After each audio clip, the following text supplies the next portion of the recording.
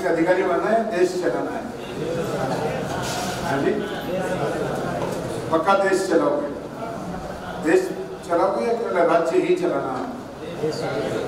जी? देश चलाओगे, हिंदुस्तान में। तो अच्छी बात, बढ़िया बात। है, जज्बा बहुत गजब का होना चाहिए। इस न्यू डेस्टिनेशन के प्रांगण में आप सबका अभिनंदन, आप सबका स्वागत। और देख रहा हूँ मैं आप में से बहुत सारे लोग सीनियर्स भी बैठे हुए हैं, कुछ लोग फ्रेशर भी बैठे हुए हैं। और जिज्ञासाएँ आपके अंदर कि बहुत बड़ी आज क्या होने वाला है, क्या हमें बताया जाना है कितने लोग आप में से ऐसे, वैसे ही जनरल बातचीत हम लोग कर रहे हैं। कितने लोग आप में से ऐसे हैं जो केवल आईएएस को ही अपना सपना देखते हैं? आईसीएस को ही अपना सपना देखते हैं गुड और कितने लोग ऐसे हैं जो आईएएस और आरएस दोनों को ही अपना सपना देखते हैं। दोनों को देते वेरी गुड और कितने लोग ऐसे हैं जिन्होंने आरएस को अपना सपना बनाया काफ़ी लोग हैं। राज्य कितने लोग ऐसे हैं जो कंफ्यूज हैं कि हमें करना क्या चाहिए? है सबको है कि हमें क्या करना चाहिए। ये बड़ी अच्छी बात ऐसे होनार प्रतियोगी मैंने 20 साल के इतिहास में पहली बार देखे। जो कंफ्यूज नहीं है कि हमें करना क्या चाहिए। एक बीस सालों में खूब सारी कक्षाओं को पढ़ाया है। खूब सारी, बहुत सारी कक्षाओं के मैं इंटरव्यू वगैरह लिए इंटरव्यू वगैरह में कर रहे हैं इंटरव्यू बोर्ड को कैसे फेस करना होता है स्किल उनमें कुछ सिखाई है। इन 20 सालों की कई परीक्षाओं के दौर में मुझसे प्रतियोगियों का एक क्वेश्चन बहुत कॉमन हुआ करता है। एक कॉमन क्वेश्चन सबका हुआ करता बोले, सर, जब हम इंटरव्यू में जाते हैं, हमसे पूछा जाता है आप आईएएस क्यों बनना चाहते हो, आप आरएस क्यों बनना चाहते हो, आप क्या करना चाहते हो? इस प्रश्न का उत्तर सबसे कठिन होता है। मैं परिवार के सपने सच करना चाहता हूँ, मैं माता पिता के सपने सच करना चाहता हूँ, मैं अपने स्वयं के सपने सच करना चाहता हूँ, मैं अपना सोशल स्टेटस बढ़ाना चाहता हूँ, मैं अपने परिवार, समाज और राष्ट्र का उत्थान करना चाहता हूँ। इसलिए मैं आई एस आर एस बनना चाहता हूँ। ये बातें तो बहुत कॉमन है, सब बोलते हैं। कॉमन को बोलने की ज़रूरत नहीं, है अंडरस्टूड बातें हैं कि आप आर एस आई एस बनना क्यों चाहते हैं कारण क्या है उसके पीछे तो एक बोले कि सर हम इसका परफेक्ट उत्तर क्या दें इसका परफेक्ट उत्तर केवल दो शब्दों में होता है. केवल दो शब्द. और परफेक्ट आंसर इसका मिल जाता है. मैंने हमेशा अपने इंटरव्यू की तैयारी करने वाले प्रतियोगियों से, छात्रों से एक ही बात कही है। आप सिर्फ़ दो शब्द और वो दो शब्द केवल बोलने हैं। इसलिए आप याद मत करिए। इन दो शब्दों को अपने मन और मस्तिष्क में उतारिए। अपने रोम रोम में उसे बसाइए। और उन दो शब्दों के लिए ही आप जीना प्रारंभ करें। उसके लिए ही आप अपनी तैयारी प्रारंभ करें। बोले सर वो दो शब्द कौन से होते हैं? कि जब आपसे पूछा जाए कि आप आई क्यों बनना चाहते हो, सिंपल सी बात। सर, ये मेरा ड्रीम है। सर, ये मेरा पैशन है। ये मेरा सपना है और ये मेरा जुनून है, इसलिए मैं बनना चाहता हूँ। बाकी सारे काम तो अपने आप हो जाएँगे। तो सबसे पहले, अभी मैंने आपसे प्रश्न पूछा कि आप में से कितने लोग कंफ्यूज हैं? जिन्हें ये पता नहीं हमें वास्तव में करना क्या चाहिए। बहुत अच्छी बात है, बहुत आसान सी बात है।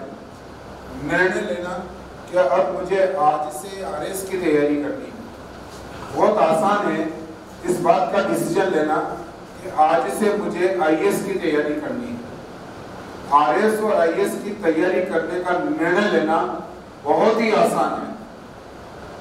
बहुत आसान है डिसीज़न है तो बोले, आज से तो मैं बस आरएस की ही तैयारी करूँगा। आज से मैं केवल आईएएस की ही तैयारी करूँगा। और बोले, आज से मेरे इन दो सपनों के अलावा कोई तीसरा सपना नहीं है।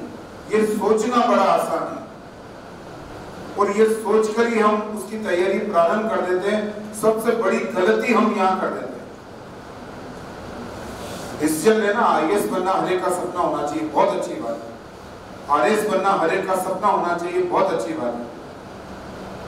लेकिन केवल सपना देखना ही हमारा निर्णय होना चाहिए, ये बहुत गलत बात है।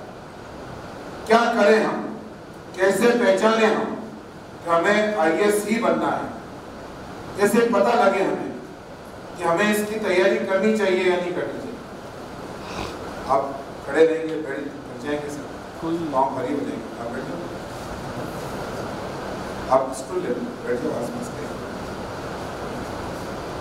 तो आप लोगों से क्या आपके दर्शन नहीं हो रहे थे बाकी आप देखो इतने खूबसूरत लोग लाइट के पीछे बैठे हुए थे हँसी दिलकश खूबसूरत लोगों को नाम छिपा रखा था चलिए। आपको देखकर मेरे को पहली बार अनुभूति हुई कि मैं किसी आई की तैयारी करने वाले पास में खड़ा हूँ। आपको बहुत बहुत शुभकामनाएँ। आप यही रहें। इसमें रिकॉर्डिंग जो होगी जाएगी हम बात करते हैं। इम्पोर्टेंट क्या है? कि क्यों सौ लोग आरएस की तैयारी का निर्णय लेते हैं? सौ लोग आई की तैयारी का निर्णय लेते हैं और उनमें से पाँच परसेंट, दस परसेंट भी रिज़ल्ट नहीं है। ये तो मैंने आपको अच्छा लगे इसलिए बोला है। रिज़ल्ट का रेशियो बहुत कम है। हज़ार लोग आईएएस की तैयारी का निर्णय ले रहे तो एक जना बन रहा है पता नहीं। दो हज़ार लोग फॉर्म भरे उनमें से एक जना पास हो रहा पता नहीं। क्योंकि हम ये डिसीज़न जो है ना निर्णय ये हम हमारे जो डिसीज़न लेने का जो हमारा क्राइटेरिया है वो केवल एक ही है कि हम आ, कि मुझे बनना है मुझे सपने सच करने हैं। ऐसे नहीं होता है। सिविल सर्विसेज़ में जाने के लिए पहले पहचानिए आप अपने आप को कि उसके लिए जितनी मेहनत चाहिए, क्या आप वो मेहनत कर पाएँगे? उसके लिए जितना पेशेंस चाहिए, धैर्य, कि आप में वो है, उसके लिए जो सपोर्ट चाहिए। कि आपको छह महीने हो गए रिजल्ट्स नहीं आए तो परेशान करने वाला है। तो क्या आप उसे इग्नोर कर सकते हैं? आप इंटरनली इतने साउंड हैं, इतने मज़बूत है या नहीं? आप पहचानिए कि मुझे अगर आईएएस और आईएएस करना है सिविल सर्विसेज़ में जाना है तो मेरे सब्जेक्ट क्या होने चाहिए? मेरे क्या ऐसे सब्जेक्ट है जिनको लेकर? आईएएस का पैटर्न आरएस का पैटर्न बिल्कुल अलग है।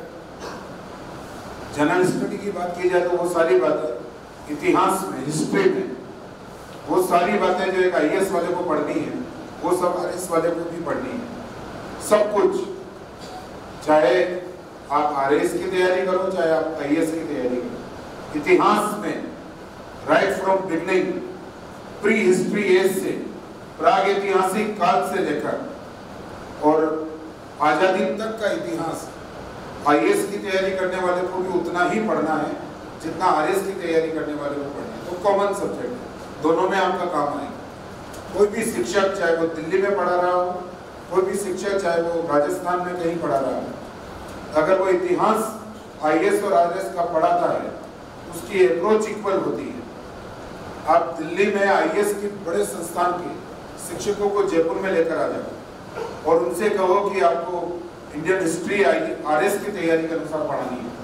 और वो वहाँ सारी आरएस आईएएस की कक्षाएँ ले रहे एक आईएएस की तैयारी कराने वाला दिल्ली का शिक्षक जब जयपुर में आरएस की तैयारी करने के लिए, करवाने के लिए आता है तो जो उसका कंटेंट है पढ़ाने का, एक भी शब्द उसका दिल्ली के रजिस्टर में और जयपुर की नोटबुक में अलग नहीं देखा है।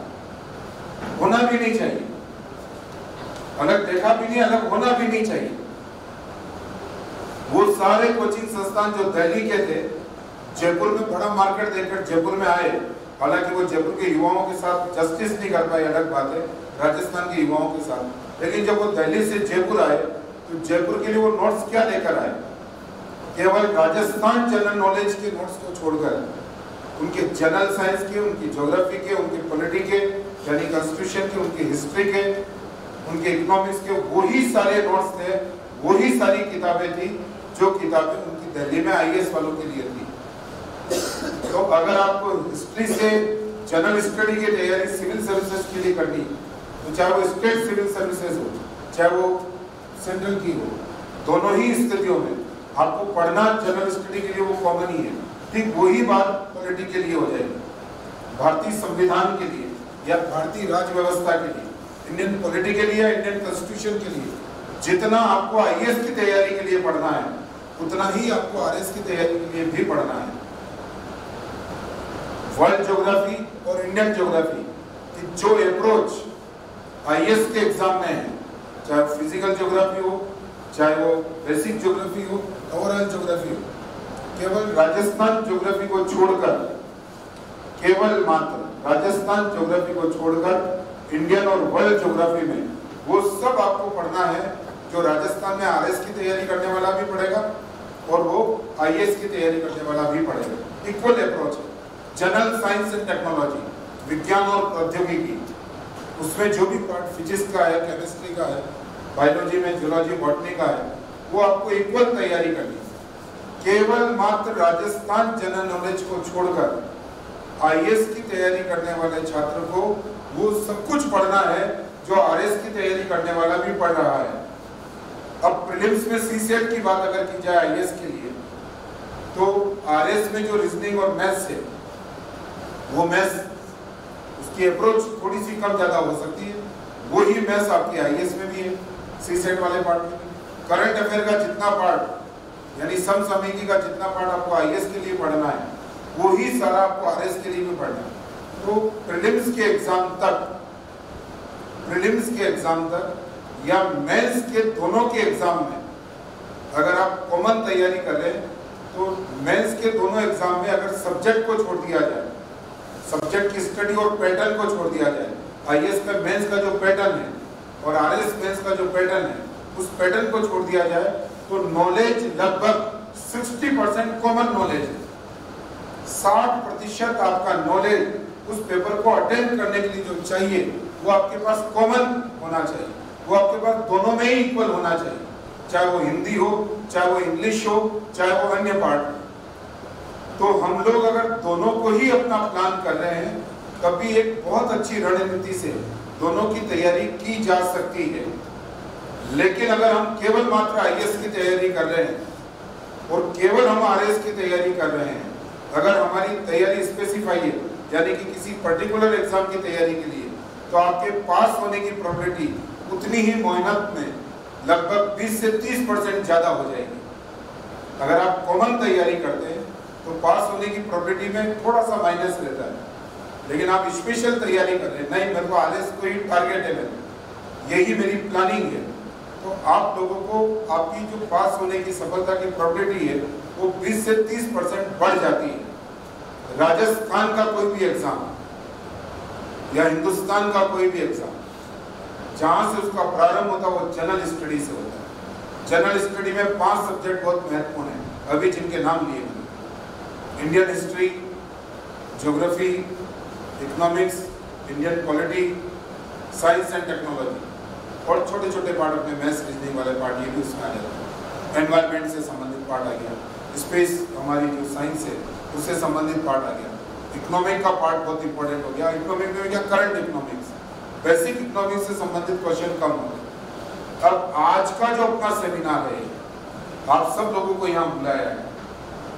केवल ये बातें समझाने के लिए नहीं बुलाया कि इसमें ये होता है इसमें ये होता। है आज का सेमिनार आपको दिशा देने के लिए है।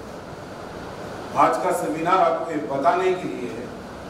आज का सेमिनार आपको ये समझाने के लिए है कि बेसिकली आप उम्र की जिस दहलीज पर खड़े हैं, सब लोग इक्वल नहीं है। आप में से बहुत सारे ऐसे अभी जब आप आ रहे थे तो वहाँ लिखवा रहे थे। बहुत सारे ऐसे जो अभी ग्रेजुएशन कंप्लीट नहीं है। लेकिन अभी से अपनी सिविल सर्विसेज़ की तैयारी को प्रारंभ करना चाहते हैं। उनकी स्ट्रेटेजी बिल्कुल डिफरेंट होगी कुछ ऐसे हैं आप में से, छात्र, जो 2019 में आरएस की जो प्रीलिम्स की वैकेंसी आने वाली है, आरएस की जो नई वैकेंसी आने वाली और आने ही वाली है, और जल्दी आएगी। कंप्लीट तैयारी है। अगर ये आरएस का सिस्टम आरक्षण का सिस्टम नया डेवलप नहीं होता है तो पदों का जो वर्गीकरण है, एक बार गवर्नमेंट को नए आरक्षण सिस्टम के अनुसार पदों के वर्गीकरण को नए ढंग से उनको गणना करके कैलकुलेशन करके आरपीएससी को देना है। बाकी वर्तमान आरपीएससी के चेयरमैन आरएस प्रीलिम्स की वैकेंसी को आरएस मेंस के एग्ज़ाम से पहले जैसी न्यूज़पेपर में उनके माध्यम से खबरें जो समाचार, उससे पहले ही वो पब्लिश करना चाह रहे थे। नोटिफिकेशन बहुत पहले आ चुका होता। आर एस मेन्स के एग्ज़ाम हो चुके हैं। मेन्स के रिजल्ट्स भी जल्दी आएँगे। क्योंकि जैसा कि एक बार दैनिक भास्कर के पेपर में आया था कि वर्तमान चेयरमैन राजस्थान में परीक्षाओं की स्थिति सुधारने के लिए एक एक परीक्षा के सिलेबस की को स्वयं देख रहे हैं, उसको स्टडी कर रहे हैं और सिलेबस की पुस्तकों को खुद देख रहे हैं। जब इतना लिटरेट और एजुकेटेड और इतना दूरदर्शी चेयरमैन अगर होता है तो एक कैलेंडर को जो है राजस्थान में बिगड़ा हुआ है। आरपीएससी का कैलेंडर भारत के जितने भी स्टेट सर्विस कमीशन है, उनमें सबसे ज़्यादा बिगड़ा, उसको सुधारने की वो कोशिश कर रहे हैं। तो बहुत जल्दी 2019 में आरएस की वैकेंसी का नोटिफिकेशन आने वाला है। तो आप में से कुछ छात्र ऐसे कुछ प्रतियोगी ऐसे हैं, जो केवल उसकी तैयारी के लिए आए। कुछ लोग इसलिए भी आए, मैंने भी हाथ खड़े कर रहा है कि उनका उद्देश्य सिर्फ़ आई है। कहने मुझे तो आई की ही तैयारी करनी अब एक इम्पोर्टेंट बात है, युद्ध डेस्टिनेशन आज आपको ऐसा क्या सिखा पाएगा? क्या है उसके पास? जो हमने आज आपको विज्ञापन देकर बुला लिया। हमने सोशल मीडिया पर भी सब जगह आप लोगों की बात कही। कि हम ऐसा क्या करेंगे आपके साथ जिससे आप ये समझ पाओ? सबसे पहले, अभी तो वैसे भी हमारा जो रिसेंटली रिज़ल्ट आया है, एक दो महीने पहले आईएएस का जो रिज़ल्ट आया है, उनके जो टॉपर आए हैं फ़र्स्ट और सेकंड वो राजस्थान से है। कभी ऐसा लगा करता था। 2001 में जब मैंने जयपुर में पढ़ाना प्रारंभ किया तो राजस्थानियों को लगा करता बोला आई हमारे लिए नहीं बना है। सोचते नहीं थे। ना, वो आई का फुल फॉर्म भी नहीं समझना चाहते एग्ज़ाम भी दे रहे हैं तो वो बोलते थे आई का एग्ज़ाम देना आईसीएस शब्द नहीं निकलता अभी भी मैंने आपसे पूछा ना आई का एग्ज़ाम कौन देंगे? सबने हाथ खड़ा कर दिया। किसी को नहीं करना चाहिए। बेसिकली आप इंडियन सिविल सर्विसेज़ की तैयारी करेंगे उसमें तो आई एक पोस्ट है, फिर आईपीएस है, फिर आईएफएस है आईआरएस है, वो अलग अलग है। तो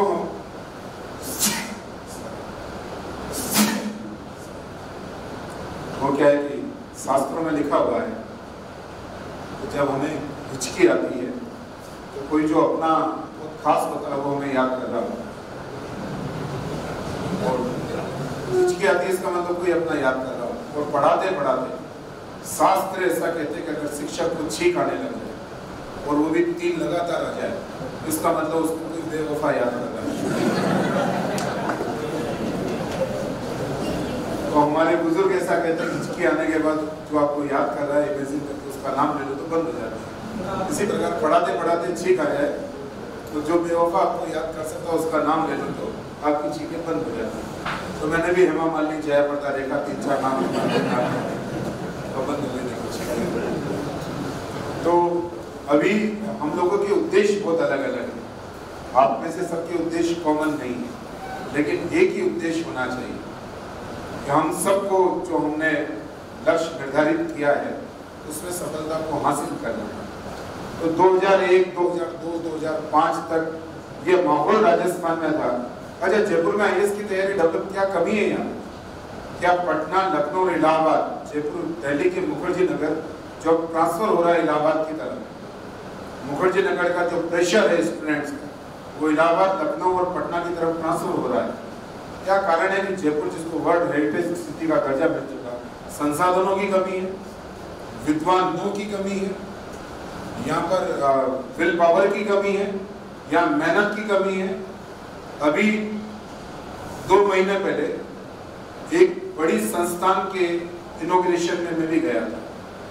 दिल्ली से भी शिक्षक वहाँ पर आए थे, उन्होंने बुलाया थे। बोले, दिल्ली वालों को बुलाओ, राजस्थानी प्रभावित होकर फ़ीस जमा करा देगा।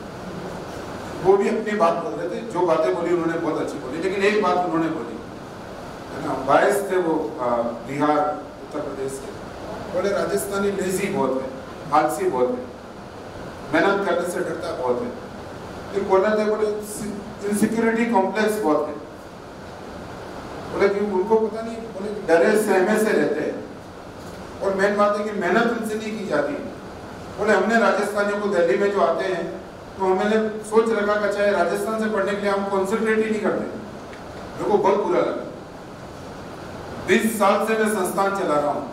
बीस साल से राजस्थान के हज़ारों प्रतियोगियों को मैंने पढ़ाया है, मेरे साथ वो हज़ारों प्रतियोगी पढ़े हैं और उन्होंने सफलताओं को हासिल की है और राजस्थान को पिछले पाँच, दस सालों में मैंने मेहनत करते हुए देखा है। मैंने उन लोगों से एक बात कही जो भी दिल्ली से आए हुए थे, उनसे बात की शिक्षकों से मैंने कहा, साहब, देखो, बहुत अच्छी बात है, अभी आपने बोली कि आई की तैयारी कैसे करनी चाहिए? क्या क्या पढ़ना चाहिए? आपने बहुत बड़ा आभा मंडल बनाया कि आपने ऐसे बोला जैसे कि आपके सानिध्य के बिना कोई सिविल सर्विसेज़ के लिए सोच ही नहीं सकता है। और आपने कहा, राजस्थानी लेजी है, मेहनत नहीं करता है। अब 20 साल से राजस्थानी कॉम्पिटिटिव को मैं देख रहा हूँ। वो तो दिशा सही नहीं है। वो तो दिशा सही नहीं है। वो तो एक राजस्थानी को मैंने बोला कि ओलंपिक में स्विमिंग में जाने का मौका मिलता नहीं है। नहीं तो जो ओलंपियन, जो तैराक है ना, उससे ज़्यादा तो हमारे राजस्थान के छोरे तालाब में तैर जाते हैं। और जितनी आई की तैयारी करके आप जिन बिहार यूपी वाले की बातें कर रहे हो आई बन रहे ना, ये सच्चाई है। वर्तमान में राजस्थान का युवा, राजस्थान का प्रतियोगी, राजस्थान का कॉम्पिटेटिव इस समय पुलिस कांस्टेबल की जितनी तैयारी कर रहा है, पटवारी परीक्षा के लिए जितनी मेहनत कर रहा है पूरा राजस्थान शिक्षक भर्ती में रीट के लिए जितनी जान झोंक रखी है उसकी 50 परसेंट जान तो दिल्ली में मुखर्जी नगर वालों ने झोंक रखी है। फ़र्क ये कि उनके पास दिशा नहीं फ़र्क ये कि किताब उन्होंने रीट की उठाई है। फ़र्क ये कि उनके पास पेशेंस नहीं बोले, हम मेहनत तो बहुत कर सकते हैं, लेकिन चार पाँच महीने। पहले दिन एडमिशन लेता सेकंड डे पूछता, सर वैकेंसी कब आ जाएगी? और वैकेंसी का मैंने टाइम बता दिया उसको। और बताता भी हूँ। लगभग उसके आसपास ही रहता है। तो तीन चार दिन की निकले, बोले, सर एग्ज़ाम कब तक हो जाएँगे? और मैंने एग्ज़ाम भी बता दिया कि लमसम सराउंडिंग इसके एग्ज़ाम हो जाएँगे। तो पाँच छह दिन बाद पूछता हूँ मुझसे, बोले, सर, इस बार मेरिट कितनी चली जाएगी? ही नहीं उसमें। एक दिन पढ़ा और उसको वैकेंसी चाहिए, पाँच दिन पढ़ा और एग्ज़ाम चाहिए, पाँच दिन और पढ़ा और उसको मेरिट चाहिए टारगेट पेशेंस नहीं, हमें उतावलापन ज़्यादा है केवल मात्र। मेहनत से घबराते नहीं। आप लोग अगर सिविल सर्विसेज़ का सपना देखते हो, आप लोग अगर अपने छोटे भाई बहन के लिए, आप लोग अगर आप में से जो सीनियर आए हैं, अगर अपने पुत्र के लिए बेटी के लिए अगर सिविल सर्विसेज़ का सपना देखते हैं, एक अच्छी रणनीति, एक परफेक्ट स्ट्रेटेजी आपको उसमें सफलता दिलवा सकती है। फ़र्क सिर्फ़ इतना सा है कि आपका मार्गदर्शक कैसा है, आपकी गाइडलाइन कैसी है आपके हाथ में किताबें कैसी है? आपके पास डिस्कस करने के लिए सब्जेक्ट क्या है? सोने से पहले आपके सपने क्या है? और उठने के बाद आपके सपने क्या है? अगर वो सपने और रात के सपने एक जैसे हैं तो हमें सिविल सर्विसेज़ की तैयारी छोड़ देनी चाहिए। आज मेहनत की कोई कमी नहीं है आप लोगों के आज राजस्थानी आज देखो ना 2011-12 के बाद राजस्थानियों ने जो नाम आईएएस में कमाए हैं, जिस प्रकार से आने लगे, गौरव शर्मा आईएएस के बने कबर बने नहीं गौरव शर्मा सीकर वाले, मेडिकल वाले जो थे, वो भी बने स्टार्टिंग से बात, जितेंद्र सिंह चौहान, वो बनते चले आए टीना डाबी के नाम पर, जब टीना डाबी ने टॉप किया था तो बहुत राजस्थानी भी पास हो सकता है। और इस बार तो फ़र्स्ट सेकंड दोनों राजस्थानी ठान लेना राजस्थानी तो राजस्थान को वीरों की धरती ऐसे ही कहा जाता है। ऐसे ही नहीं कहा जाता है। अभी मेरी बातों को सुनते समय जिन लोगों की पलके भारी हो रही जो अपने शरीर में थकान महसूस कर रहे हैं, जिनको उबासियाँ आ रही है, जिन लोगों को मेरी बात सुनते समय अभी भी ध्यान इधर उधर कहीं जा रहा है, अब आगे क्या होने वाला है? मेरे हिसाब से उन्हें सिविल सर्विसेज़ की तैयारी का निर्णय नहीं लेना चाहिए।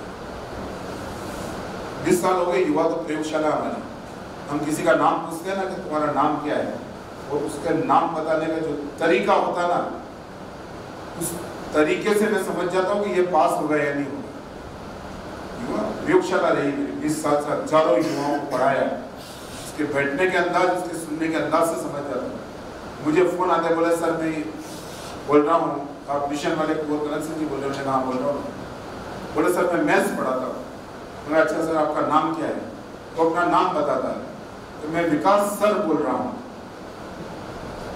मैंने कहा अच्छा सर, अभी आप जहाँ पढ़ा रहे हैं, वहाँ की ज़िम्मेदारी को पूरा करें। ज़िंदगी के किसी कालखंड में मैं आपको ज़रूर बुलाऊँगा। जो अपना नाम बताने का जो उसका तरीका मैं उससे समझ जाता मैंने अभी शिक्षक नहीं बनाए बोले मैं हरीश सर बोल रहा हूँ मैं श्री ये बोल रहा हूँ। तो जो नाम बताने का तरीका होता है, उससे हम लोग समझ जाते हैं। तो आप लोग जो अभी यहाँ पर आए हैं, आपके साथ बहुत इंटरेक्शन होंगे। आप लोग हमारे साथ जल्दी तो नहीं आप लोगों को जाने का? चार पाँच बजे की आज अभी एक दो घंटे बाद तो मैं सारे दरवाजे जो है लॉक करवा दूँगा अंदर से, ताकि आप लोग जाएँगे। आगे हो ना? तो ये तो तय है, देखो आप, ये तो हमारा संकल्प है आज आपको एक नई रणनीति और एक नई दिशा देकर यहाँ से भेजे। आपके अंदर एक सिविल सर्विसेज़ जो तैयारी करने वाला प्रतियोगी होता है, उसके अंदर जो एनर्जी होती है ना, वो एनर्जी देकर भेजेंगे। और जिन लोगों को अभी उबासी आई, तीन चार जनों को देखा मैं कोई बात नहीं, सावन का महीना किसी की याद आ जाती तो उसकी याद में उबासी आ चलता रहेगा लेकिन याद रखो आप, दो बातों को हमेशा ध्यान रखो। उनके शरीर थकते हैं, वो शरीर हमेशा टूटे हुए महसूस होते हैं। अकड़न चकड़न टूटन, किताब को हाथ में लेते ही उन लोगों के शरीर में आते हैं, जिनके दिलों में जुनून कमज़ोर होता है, जिनकी इच्छा शक्ति कमज़ोर होती है, जिन्हें स्वयं की मेहनत पर भरोसा नहीं होता है, जिनके पास फीवर ऑफ़ लॉस बहुत ज़्यादा होता है, जिनके पास इनसिक्योरिटी का भाव ज़्यादा होता है यानी कि नेगेटिव ही नेगेटिव होता है। हम कंफर्म ही नहीं है कि हमारा होने वाला क्या है। दिशा विहीन जो है, किताब लेते ही उनको मलेरिया मलेरिया की बुखार आ जाती है। किताब को देखते ही मलेरिया का महसूस बोले यार, आज तो तबियत खराब चल रही है। अभी दस मिनट पहले अच्छी थी। पता लगा दस बजे मुझे पढ़ने बैठना और किताब के हाथ लगाया। और शरीर में पता नहीं अचानक एक नई वेव्स का संचार हुआ। ऐसा लगा जैसे अचानक हमको मलेरिया होने वाला वो क्यों होता है क्योंकि हम लोग इनसिक्योर बहुत होते हैं। एक दूसरे टाइप के लोग होते हैं। अभी दो हज़ार अठारह की जो परीक्षा का जो रिज़ल्ट अभी आया, दो हज़ार उन्नीस वाला टॉपर्स के बारे में पढ़ रहा था। टीवी में भी खूब आया, अखबारों में उनके बारे में खूब कहा गया। जो टॉपर्स 2018 के कुछ अभी आपसे मिलाएँगे, वो भी आपसे मिलेंगे। तो वो लोग बताएँगे कि क्या है, तैयारी क्या है। अभी हमने पंद्रह दिन पहले डेस्टिनेशन का सेमिनार यहाँ पर किया था। 2016 के आईएएस टॉपर यहाँ पर आए हुए। एक छात्रा ने प्रश्न पूछा उनसे कि, सर हिंदी मीडियम से आईएएस और आरएस बनने की संभावना ज़्यादा रहती है या इंग्लिश मीडियम से आई और आरएस बनने की संभावना ज़्यादा रहती है? इतफाक देखो आप, उनका आईएएस में मेन सब्जेक्ट ही हिंदी था। उन्होंने कहा कि, मेरे सब्जेक्ट में आपको बताता हूँ। फिर आप मुझसे पूछना कि इन लोगों ने मुझे एज ए टॉपर आपसे इंट्रोड्यूस करवाया है। और मेरा सब्जेक्ट हिंदी है। तो इस प्रश्न का क्या उत्तर दूँगे? आप किसी भी मीडियम से तैयारी करें, लेकिन आप उस मीडियम से तैयारी करें जो आपके लिए कंफर्टेबल है। जिससे आईएएस ज़्यादा बनते आरएस ज़्यादा बनते आरएएस और आईएएस मीडियम से बनेंगे। ऐसा कुछ भी नहीं है। आप किस मीडियम में कंफर्टेबल है? आपका कंफर्ट जोन कौन सा मीडियम है? हिंदी या इंग्लिश उससे आप अपनी तैयारी करिए तो एक इंपॉर्टेंट फैक्टर यह रहा कि हम लोग हमारे मीडियम से बहुत डरते हैं। भाषागत हम लोग बहुत डरते हैं। आई में इंटरव्यू पूरा इंग्लिश में होगा, मुझे तो आता ही कि तो मैं तैयारी क्यों करूँ? हमारे अंदर डर बहुत है। सबसे पहले आप अपने अंदर के डर को खत्म करिए डर कंप्लीट आपके अंदर का खत्म होना चाहिए। डरते क्यों हो आप? हमारे राजस्थानियों ने सफलता के झंडे गाड़े हैं दिल्ली में। मुखर्जी नगर को बता दिया है कि जो आपके यहाँ आकर तैयारी करेगा, केवल वही पास होगा। ऐसा कोई सनातन सत्य नहीं है। आप ठान लो, कब मुझे हासिल करना है तो रणनीति अपने आप तैयार हो जाती है। अपने आप सब कुछ नज़र आने लगता है। बिना काजू बादाम के शरीर अपने आप ऊर्जा से संचालित हो जाता है। हम लोग अपना निर्णय नहीं ले पाते। इनसिक्योरिटी कॉम्प्लेक्स बहुत है नेगेटिव अप्रोच बहुत है। बेटा, रात दिन पढ़ तू तो आईएएस की तैयारी कर रहा, तारक मेहता की उल्टा चश्मा क्यों देख रहा है?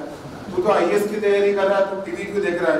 तो आईएएस की तैयारी कर रहा वर्ल्ड कप कौन जीता ये क्यों देख रहा है? तो आईएएस की तैयारी कर रहा, बुआ जी की शादी में क्यों आ गया है? तो आईएएस की तैयारी कर रहा, चाची जी की शादी में क्यों आ गया है? बोले, तू आईएएस की तैयारी कर रहा, हम सब के बीच में क्यों बैठा हुआ है? बोले, तू आईएएस की तैयारी, खाना इतना क्यों खा रहा है, नींद आएगी? मतलब हम आईएएस आरएस की तैयारी नहीं कर रहे, जैसे कोई जुल्म कर रहे हैं। हर कदम पर उसकी सजा दी जाएगी। बोले सावन का महीना कर सिंजारे का मौसम है। बोले, ये तुम सब कर लेंगे, तू जाए यहाँ से तेरी किताबें दे। अरे, वो भी एक इंसान होता है, अभी बहुत अच्छे आईएएस के टॉपर ने इंटरव्यू दिया, कि मैंने आईपीएल के सारे मैच देखे। तो मैंने आईपीएल के सारे मैच देखे। अब आईपीएल के मैच देखते समय वो डर जाता, या उसके घर वाले डर जाते, उसके माथे आ जाते। तो हमारे अंदर पढ़ाई में क्या डरावना पढ़ाई ज़्यादा है। डर से पढ़ाई करवाई जाती है। आप में से जो लोग स्वयं या आप अपने भाइयों को, या अपने बहनों को, या अपने पुत्रों को, अपनी संतान को, अगर कल से आप सिविल सर्विसेज़ की तैयारी प्रारंभ कर दोगे तो कल से ही आपका बिहेवियर उनके प्रति चेंज हो जाएगा। आपका तौर तरीका बदल जाएगा। यहाँ तक कि खाना भी बदल जाएगा। अपने आप रात को बादाम गलने लग जाएगी, सुबह खिलाने लग जाएँगे। अपने आप उसके कमरे के आसपास जो है म्यूज़िक और टीवी बंद हो जाएँगे। बिहेवियर ही चेंज करे नॉर्मल बिहेवियर करो। कोई बहुत ज़्यादा नहीं पढ़ना पड़ता। ये धारणा बिल्कुल मिथ्या है कि आईएएस या आरएस बनने के लिए चौदह घंटे या सोलह घंटे पढ़ना होता है। मिथ्या धारणा है। कोई लेना देना नहीं इसका। ह्यूमन बींग में अगर वो वास्तव में इंसान है, देवता है तो कर सकता है। अगर वो पार्ट ऑफ़ ह्यूमन बींग है, अगर वो मानव समाज का ही एक अंग है तो 16 घंटे की सलाह देना और वो कहता है 16 घंटे में पढ़ रहा हूँ, ये दोनों ही धोखा है। जिस प्रकार हम दूर देखते हैं तो हमें क्षितिज नज़र आता है कि ये धरती और आसमान मिले हुए हैं। वो इस संसार का सबसे बड़ा झूठ है। वो इस संसार का सबसे बड़ा झूठ है। बेसिकली वो हमारा भ्रम होता है। तो यही भ्रम है सारे। और अब तक है, ये बातें तो जो फेलियर है उन्होंने समझाई। ये बातें तो उन्होंने फैलाई कि चेक और चेक से सिलेक्शन होते हैं। ये बात फेलियर्स ने फैलाई है। दिन रात पढ़ना पड़ता है। कौन बोल रहा है? फेलियर सब कुछ छोड़ना पड़ता है। कौन बोल रहा है? फेलियर वैराग्य धारण करना पड़ता है। कौन बोल रहा है? फेलियर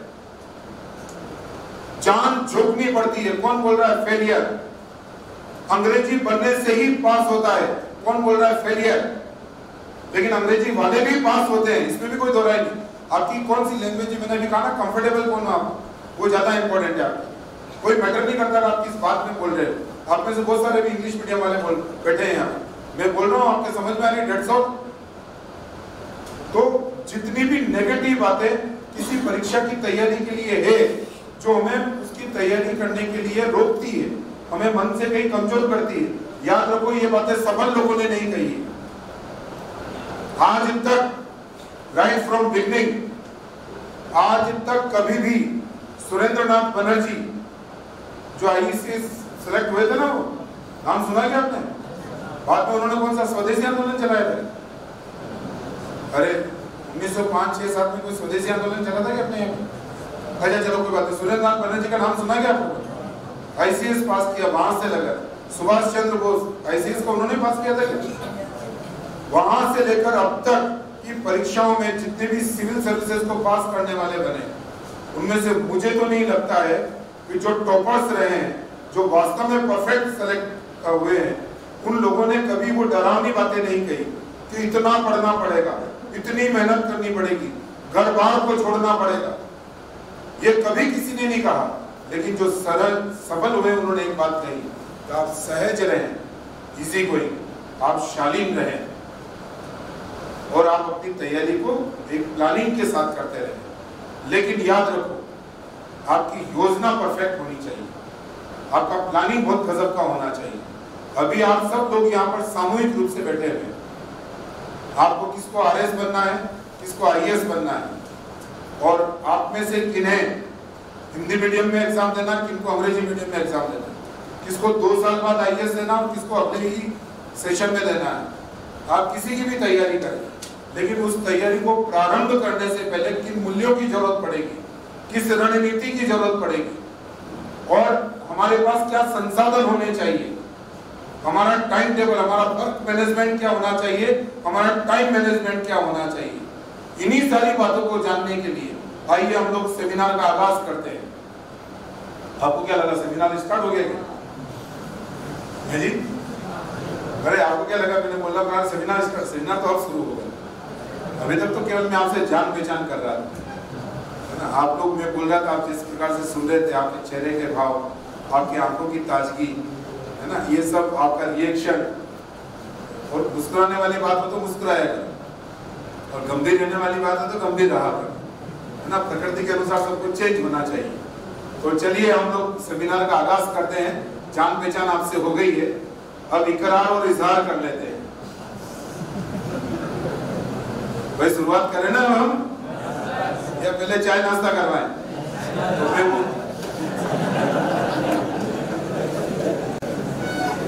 भाई हमने तो दिया है? कॉफ़ी विद टॉपर्स दिया है ना? वो भी करेंगे। सेशन अच्छा चलेगा। अगर आप, मेरा तो केवल मात्र आप लोगों से एक कमिटमेंट है। कि अगर आप वास्तव में सिविल सर्विसेज़ की तैयारी की मानसिकता बनाकर अगर यहाँ आए तो आज आप जिन लोगों से मिलेंगे जिन लोगों से आप बातचीत करेंगे, वो सब लोग आपके अंदर के भ्रम को खत्म करेंगे, डर को खत्म करेंगे।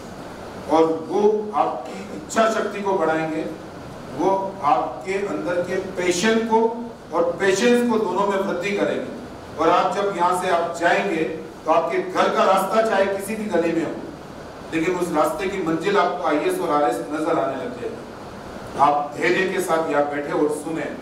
अगर आज के सेमिनार को पूरा सुनने का आपका पास धैर्य नहीं है, आज की बात को समझने के लिए आपके पास टाइम नहीं है तो फिर बाद में आपको इसके लिए सोचना भी नहीं चाहिए।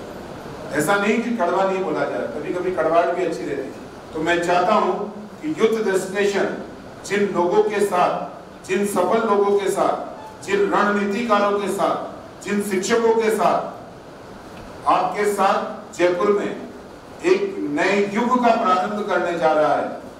ये धारणा मिथ्या साबित होगी आज के एक साल बाद। एक रिज़ल्ट आने दो, आप आर एस और आई एस का कि जयपुर जैसे शहर में सिविल सर्विसेज़ की तैयारी नहीं हो सकती। ये भ्रम खत्म होगा कि जयपुर में आईएएस और आरएस की तैयारी करने वाले लोग नहीं है। इन सारी बातों को ध्यान में रखकर मैं चाहता हूँ कि युद्ध डेस्टिनेशन की टीम यहाँ पर आए और आप जोरदार एक बार इनका अभिनंदन करें।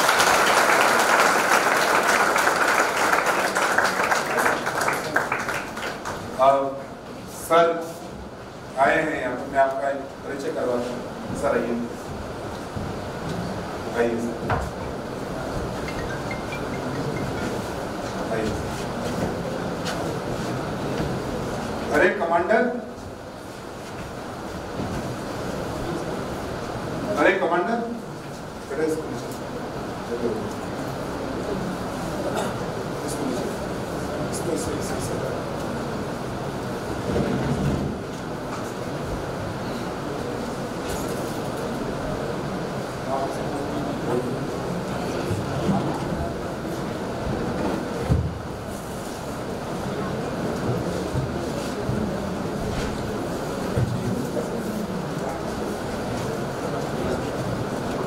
तो अ,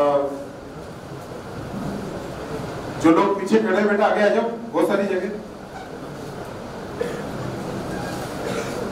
बेटा आगे आ जाओ, पीछे खड़े हो आप ऐसा लग रहा है जैसे अशोक वाटिका में खड़ी है। आ जाओ बेटा, आगे आ जाओ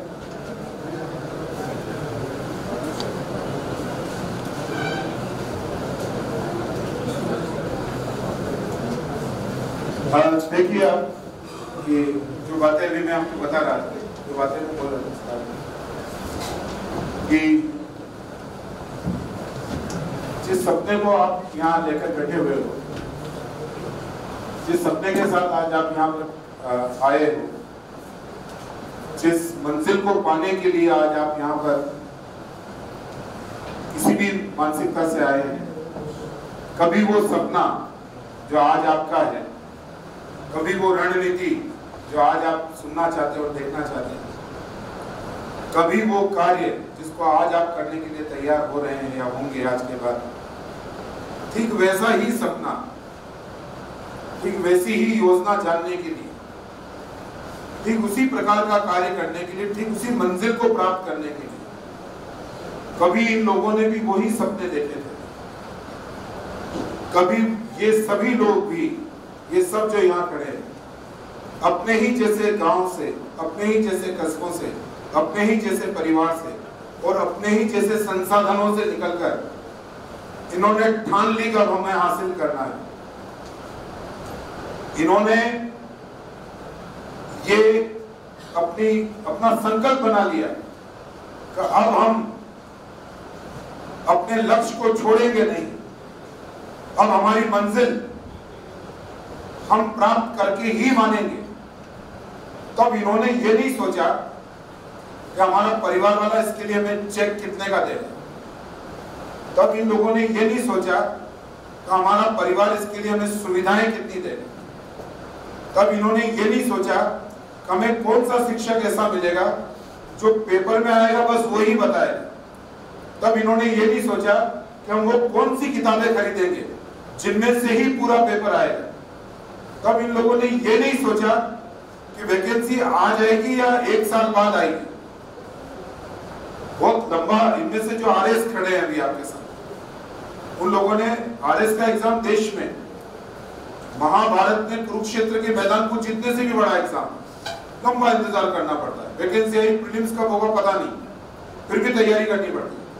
प्रीलिम्स होने के बाद मेंस कब होगा और जो डेट आज दी है, वो भी एक दिन पहले आगे बढ़ेगी या वही रहेगी? इसकी भी कोई गारंटी नहीं मेंस का रिज़ल्ट आ गया। उसके बाद इंटरव्यू भी हो गए। उसके बाद ये परीक्षा रद्द होगी या ये रहेगी, पता नहीं।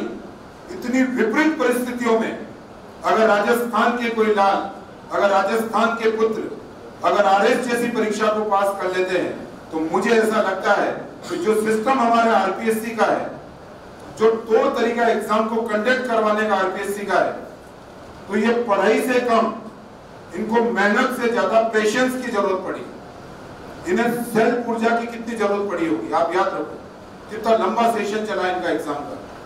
इन लोगों को सेल्फ मोटिवेशन की कितनी ज़रूरत पड़ी होगी? इनको आत्म प्रेरणा आत्म शक्ति से ज़्यादा।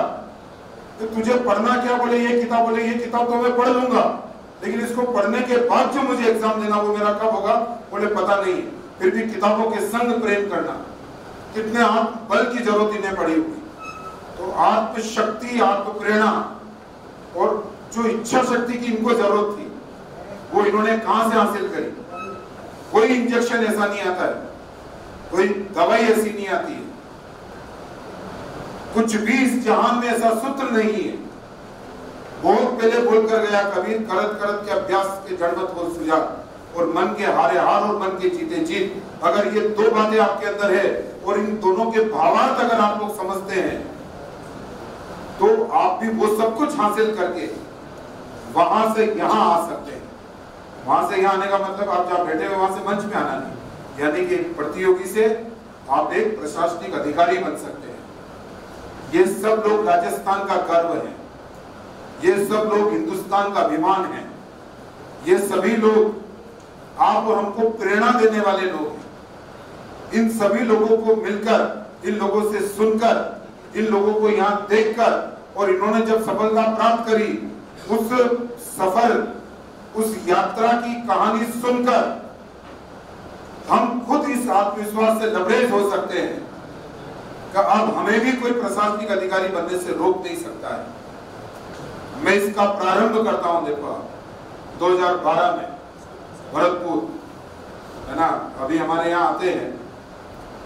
तो छात्र, कि आप कहाँ से, आप कहाँ से, आप कहाँ से?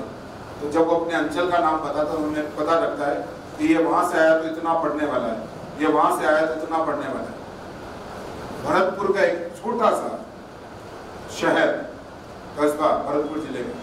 वहाँ से एक उन्हार छात्र ने सोचा कब मुझे आरएस नहीं।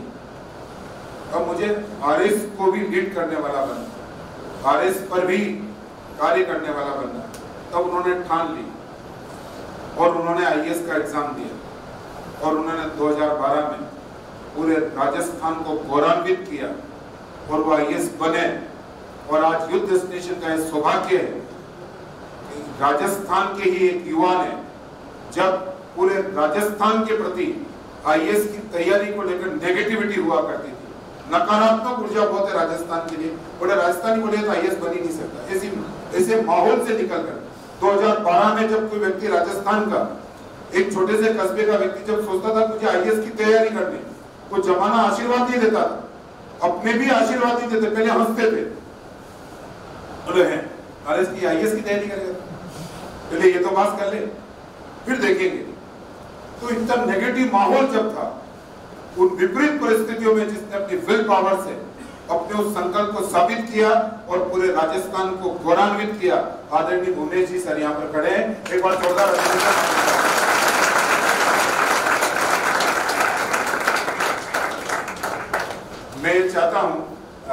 यूथ डेस्टिनेशन के डायरेक्टर और आरबीडी के ओनर आरबीडी पब्लिकेशन का नाम कभी आपने सुना है अरे आरबीडी आरबीडी पब्लिकेशन का नाम नहीं सुना है मुझे लगता नहीं राजस्थान में और हिंदुस्तान के अंदर कोई भी छात्र अगर पढ़ाई करके है ना टेंथ पास की ट्वेल्थ पास की ग्रेजुएशन किया तो आरबीडी की किताबें डायरेक्ट इनडायरेक्ट एक दो बार वो पढ़ ले ही लेता है कर ही लेता है। तो आरबीडी के ओनर जो 1800 किताबों का प्रकाशन करते हैं और जिन्होंने दिल्ली और जयपुर के युद्ध डेस्टिनेशन को, राजस्थान के और भारत के युवाओं को बहुत अधिक धन के खर्चे के बिना और बिना डिमोरलाइज हुए एक एक बहुत ही अच्छी मानसिकता के साथ आप लोगों के लिए इतना बढ़िया प्लेटफॉर्म ये तैयार कर रहे हैं।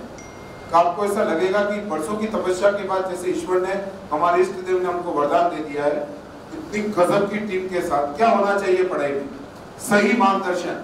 आपको सही मार्गदर्शन कौन दे सकता है? जो उसी रास्ता अच्छा मैं यहाँ से गया चाकसू।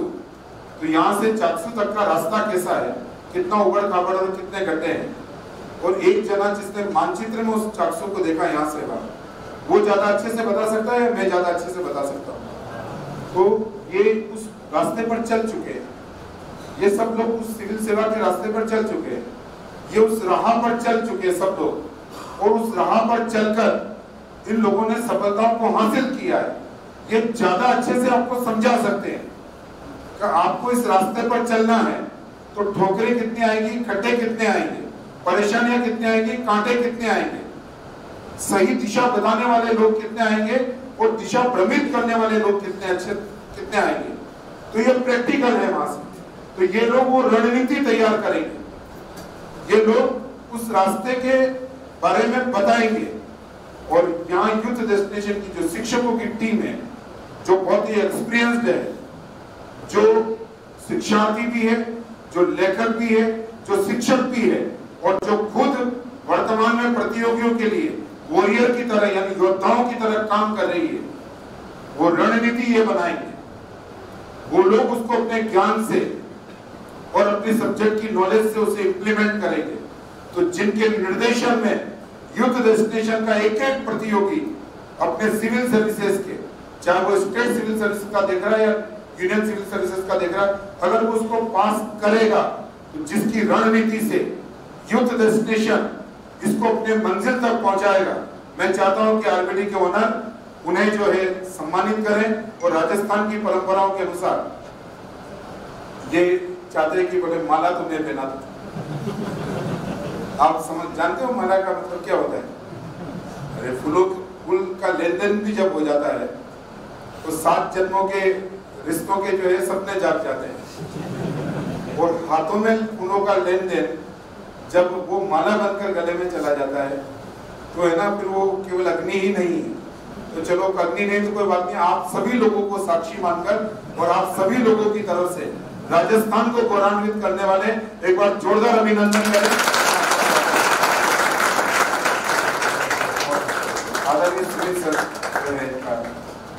साफा पहना कर बोलो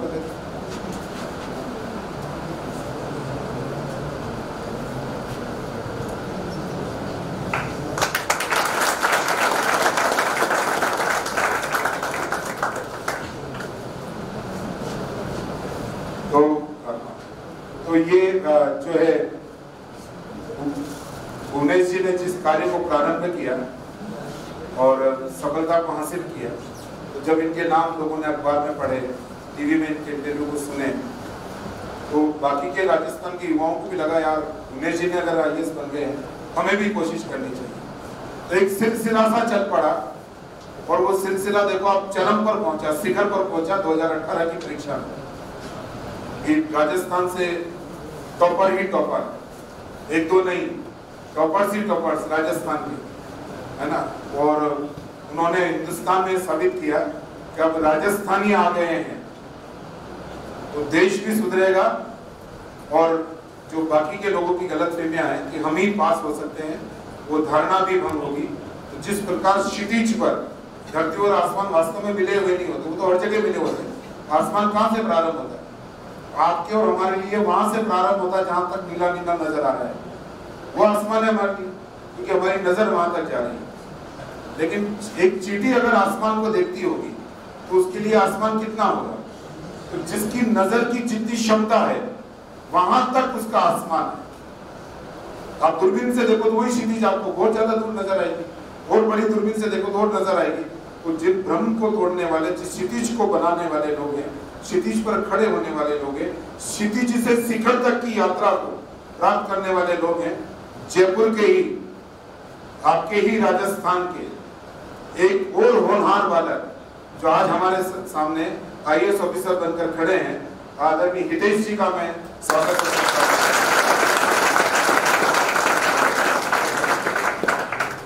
मैं चाहता हूँ उन्हें जी जो है छोटे भाई को ये मानव की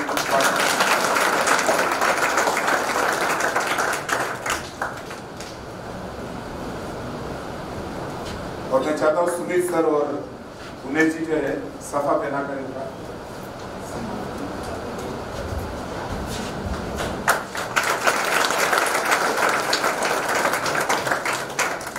अब बताओ कि आज आप हमने आपका सेमिनार ऑर्गेनाइज किया है और सफल लोगों को जो है हम सम्मानित कर रहे हैं। है ना? ये सफल लोगों को सम्मानित इस संस्था में भी चार पाँच हज़ार स्टूडेंट्स पढ़ रहे हैं। उनके बीच में भी कर सकते थे, आप ही के बीच में क्यों कर? रहे क्या कारण है कि एकलव्य में महान धनुषधारी बनने की इच्छा जागी? क्या कारण है? उसके अंदर भी बोला कि मैं भी महान धनुधर बन सकता हूँ। द्रोणाचार्य जी यानी गुरु जी आपका आशीर्वाद चाहिए। हालाँकि द्रोणाचार्य ने मना कर दिया तो उनकी प्रतिनिधि बनाकर कर लिया। क्योंकि उस एकलव्य ने जो है, अर्जुन जैसे महारथी को धनुष चलाते हुए देख लिया था। उसे लगा कि मुझे भी ऐसा ही महान धनुर्धर बनना है। आप लोगों के सामने, इन सफल लोगों का सम्मान हम लोग इसलिए कर रहे हैं ताकि आप लोगों में भी वो भाव पैदा हो। भावों की तो दुनिया है। दुनिया किसकी? भावों की तो है और कुछ भी नहीं है। केरल में अखबार बेचने वाला एक युवा, एक छोटा सा बालक, कोई भावी तो रहे होंगे। कहीं से उसको प्रेरणा ही तो मिली होगी। कितने हज़ारों लोगों ने, है ना, फलों को पेड़ से गिरते हुए देखा।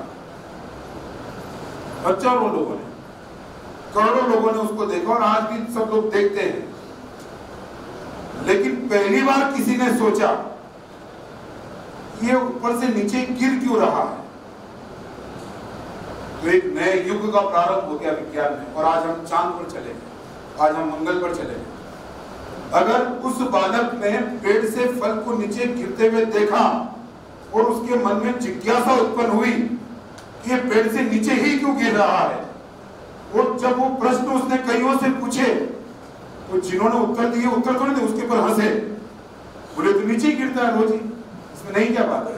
बोले, नहीं, कारण तो होगा कुछ। बोले, चले, स्कूल स्कूल तो गया नहीं, पास पास तो हुआ नहीं। पांचवी आठवीं पास करनी मैं फालतू के प्रश्न करता है। तेरे पास तो कुछ है नहीं, हमारे तो बहुत काम है। लेकिन इस प्रकार उसकी हँसी उड़ाने वाले को क्या पता था एक दिन विज्ञान इसके नाम से चलेगा एप्पल को गिरते हुए देख लिया था ना उसने? अच्छा बताओ किसने देखा था? अच्छा गुण तो है जानते हैं, जनरल नॉलेज जोरदार आपका। चलिए तो क्या होता है, जिज्ञासाएँ कहाँ से पैदा होती है? जिज्ञासाएँ चारों तरफ़ भरी पड़ी है हमारे वातावरण में। कौन सी हमें प्रेरित कर जाए? बोले, यार, यही क्यों बने आइए दिखने में हमारे जैसी, हाथ पैर हमारे जैसे, हाथ, नाक, कान हमारे जैसे हाइट हमारी जैसी, और सर बार बार कह रहे राजस्थान की धरती बोले, मैं भी राजस्थान की धरती का। वीर अगर ये है तो वीर हम भी हैं।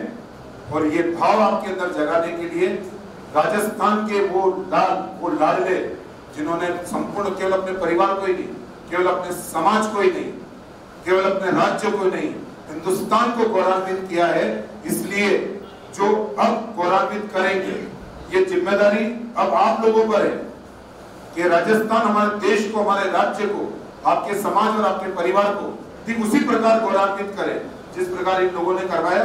उस दिशा को, उस प्रेरणा को देने के लिए लोगों का सम्मान करवा रहा मैं चाहता हूँ कि आदरणीय हितेश जी और भुवनेश जी मिलकर हमारे फिर राजस्थान के एक और आई ऑफिसर आदरणीय दिलकुश जी का सम्मान और स्वागत करें।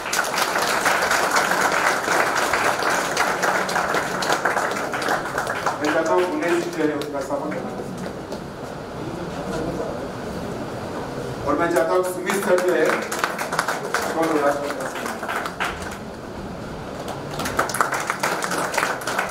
आपका अभिनंदन इस बात को साबित करेगा कि आपने भी ये क्षण लाने की कितनी इच्छा शक्ति है। एक बार जोरदार अभिनंदन इन लोगों का।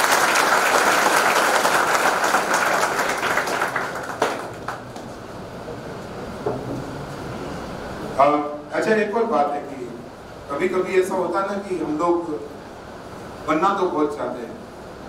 राजा को देखकर राजा बनने की इच्छा करती है। बाहुबली फ़िल्म देखी तो बाहुबली बनने का मन करता है। अमिताभ बच्चन को देखा तो अमिताभ बच्चन की स्टाइल में चलने का और बोलने का मन करता है। हम लोग अलग अलग अलग धारणाओं से अलग अलग जगह से प्रभावित होते हैं। जितने भी लोग इस विश्व में महान बने हैं, जितने भी महान बने हैं, आइंस्टीन को देख लो आप। कार्ल मार्क्स को देख लो आप रूसो को देख लो, जिसकी पुस्तक दास कैपिटल ने विश्व को दो भागों में बांट दिया, पूंजीवाद और साम्यवाद में बांट दिया। हमारे देश के अंदर देख लो, प्राचीन काल से लेकर, कालिदास, संस्कृत भाषा, संस्कृत लैंग्वेज अगर आज भी अगर ज़िंदा है, अगर कालिदास जैसा कलमकार नहीं हुआ होता अभिज्ञान शाकुंतलम की रचना उनके द्वारा नहीं होती, कुमार संभव उन्होंने लिखा होता रघुवच्चम उन्होंने लिखा होता, मेघदूतम उन्होंने लिखा होता अच्छा कालिदास ने मेघदूतम नहीं लिखा होता। तो आपके हाथों में आज मोबाइल नहीं होता पहली बार जो आज आप फ़ोटो भेजते ना बोले कि मैं यहाँ पर सम्मानित हो रहा मेरी सेल्फी ये ले लो, वो ले लो तरह तरह उसको लेने की भेजते पहली बार कालिदास के नायक ने, जो कि एक राजा के यहाँ नौकरी करता था और अपनी नई नवेली दुल्हन से मिलने के चक्कर से वो राजा के किसी कार्य सुबह सुबह रोज उसको फूल लेकर आने होते हैं। वो लेट हो गया, राजा की पूजा में वरदान उत्पन्न हो गया। राजा ने कहा कि जिस जीवन संगनी की वजह से फूल तू लेट लेकर आया मेरे इष्टदेव की पूजा लेट हुई, उससे तुझे एक वर्ष के लिए दूर रहना पड़ेगा। लेकिन उस नायक को अपनी नायिका की याद सताती थी। तो वो जो है, अपने प्रेम पत्र, अपने संदेश लिख कर बादलों के माध्यम से, बादल पर नायिका का चित्र बनाकर नायिका को भेज देता था कि मुझे तो मेरे याद आ रही है और तुम मेरी यादों में इस प्रकार बसी हुई जब मेघदूतम उस समय गुप्त काल के बाद, तीसरी, चौथी सेंचुरी में फिफ्थ सिक्स सेंचुरी में लोगों ने पढ़ी होगी इलेवन ट्वेल्थ सेंचुरी में फिफ्टीन सिक्सटीन सेंचुरी में एटीन सेंचुरी में जब और नाइनटीन सेंचुरी में जब लोगों ने मेघदूतम को पढ़ा होगा, बोले, यार, कालिदास ने कल्पना बहुत गजब की की लेकिन ऐसे भी कोई होता है क्या? अगर उनका पुनर्जीवन आज होकर आ जाए उस विज्ञान की रचना करने वाला, ये जो आपके हाथों में सोशल मीडिया जो आप करते हो, वो कालिदास ने उस जमाने में कर लिया। उससे पहले कालिदास का जीवन कैसा था? कहा जाता ना, जिस गाली पर बैठा हुआ था, उसी को काट रहा था। लेकिन एक हमारा टर्निंग पॉइंट लाइफ में आता है। पता नहीं वो किस क्षण आता है। हमें नहीं पता। मैं चाहता हूँ कि आज की सेमिनार का हर क्षण आपको प्रतिपल आपके अंदर इस ऊर्जा का संचार करे कि नहीं, अब हमें भी कुछ बनकर दिखाना है।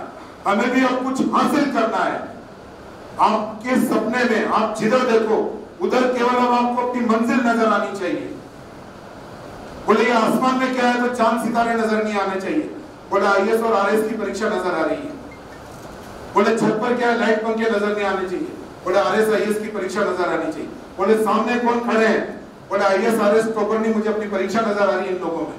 कोई आपका दिल का बहुत करीबी अगर आपसे पूछे कि मेरी पलकों में झाँक कर देख क्या नज़र आ रहा है तो खुद की तस्वीर नज़र नहीं आनी चाहिए। क्या नज़र आना चाहिए वहाँ? लेकिन ये केवल बातों से नहीं। मैंने बुलवा दिया आप बोल दी अपने जुनून को उस हाइट पर ले जाओ, उस हाइट तक ले जाओ अपनी इच्छा शक्ति को उतना प्रबल कर दो कि जिधर देखो उधर। आपको केवल और केवल अपना लक्ष्य नज़र आना चाहिए उसी श्रृंखला में। मैं अपने जयपुर के ही अक्षय काबरा जी, जिन्होंने आईएएस में एक अच्छी रैंक हासिल कर ये सभी आईएएस है अभी आईएएस ऑफिसर है। आप अगर आईएएस बन भी जाएँगे तो ये आपके सीनियर रहेंगे। और अगर आप आरएस बन गए तो इनका दिशा निर्देश आपके साथ रहेगा। तो आने वाले कल में आपकी जो बिरादरी रहेगी, बिरादरी का मतलब समझते हो? बिरादरी का मतलब मेरी जाति और मेरा धर्म नहीं। बिरादरी का मतलब वो कर्म जिस कर्म को करके मुझे पूरी ज़िंदगी को गुजारनी है परिवार, समाज और राष्ट्र की सेवा करनी है। वो जिस बिरादरी के सामने साथ करनी है, ये आपके आने वाले भविष्य की बिरादरी है। ये आपका समाज है। ये आपके हम सफ़र होंगे। यही आपके वो लोग होंगे, जिनके साथ आप ज़िंदगी के हसीन, दिलकश और खूबसूरत पलों को गुजारोगे। तो उसी श्रृंखला में मैं आदरणीय भुवनेश जी से, आदरणीय दिलखुश जी से और विकास जी से निवेदन करूँगा वो अक्षय काबरा जी का स्वागत और सत्कार करें। एक बार जोरदार अभिनंदन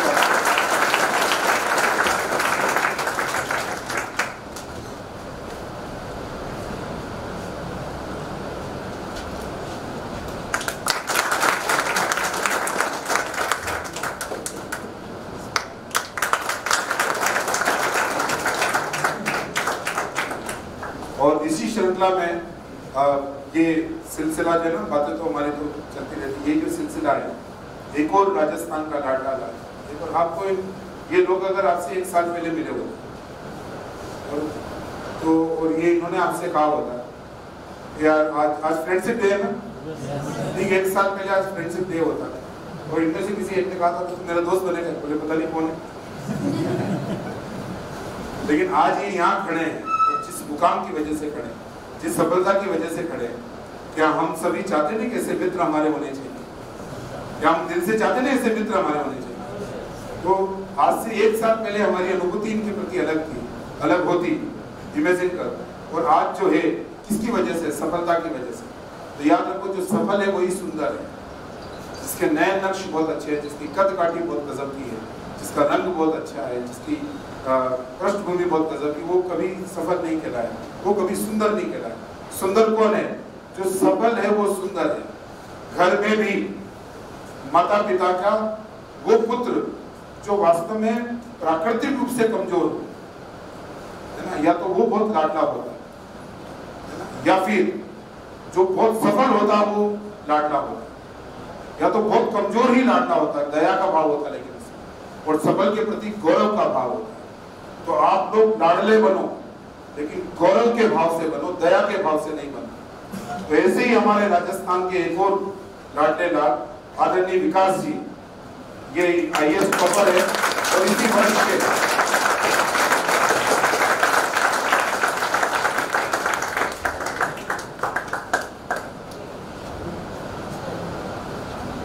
आप सभी का स्वागत है तो यार सम्मान हो रहा है गड़गड़ा के रुकिए।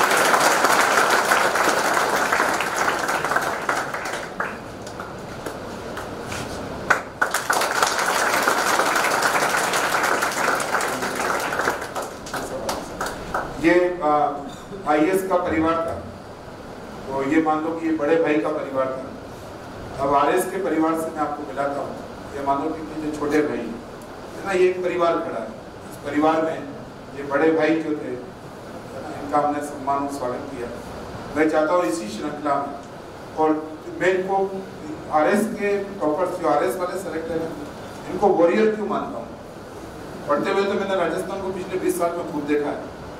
पढ़ाई करते हुए राजस्थान को तो 20 सालों से देखे। लेकिन इन लोगों को मैं दिल से बहुत प्रेम करता हूँ। 2016 वाले तो जो आर बने हैं, जिनको अब जाकर 2019 में पोस्टिंग मिली है। पहले इन्होंने फिल्म्स का इंतज़ार किया, फिर मेंस का इंतज़ार किया, फिर इंटरव्यू का इंतज़ार किया, और इंटरव्यू के इंतज़ार के बाद इन्होंने अपनी पोस्टिंग का इंतज़ार किया, और वो भी इस भ्रम में होगी भी या नहीं। परीक्षा फिर से होगी, क्या होगी?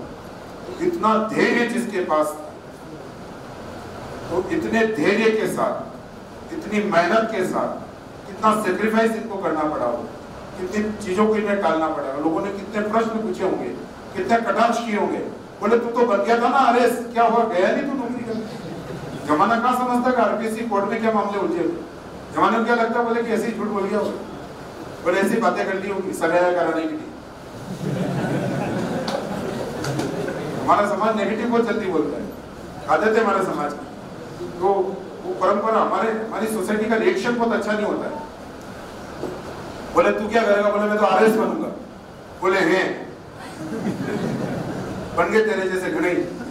हमारे टोन है हमारे संस्कृति की? हम बेसिकली जिस संस्कृति से है, वहाँ पर नेगेटिव टोन बहुत चलती है। तो आपका रिएक्शन क्या होना चाहिए? आपसे पूछे कि तू क्या बनेगा? बोले आरएस बनूँगा। बोले, तू बन जाएगा? बोले, मैं टॉप करूँगा राजस्थान को। बोले, हैं? ऐसे कोई टॉप करता है क्या? बोले, तेरी प्रॉब्लम बोले, मेरी प्रॉब्लम नहीं।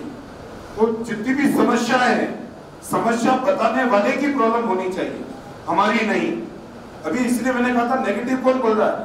रात दिन मेहनत करनी चाहिए। इनमें से अगर एक जना भी इस बात को स्वीकार कर दे तो ये बातें इस मंच से करना आज बंद कर दूँगी। जान झोंक देनी चाहिए। भूत बन के पढ़ो कोर्ट के पी जाओ। तो मेरे समझ में नहीं आती, ये बातें होती क्या है? ये सब बातें कौन करता है? जो फेलियर से जो सक्सेस है ना, इनसे अभी आप सुनना, कि सक्सेस की रणनीति क्या होती है। तो एक बार जोरदार अभिनंदन इन आदेश वालों को होना चाहिए। किशोर सरकार 2012 के आरएस आदरणीय कमल पटेली साहब से निवेदन करूँगा। आदरणीय गुनेश जी से आप इनका स्वागत करें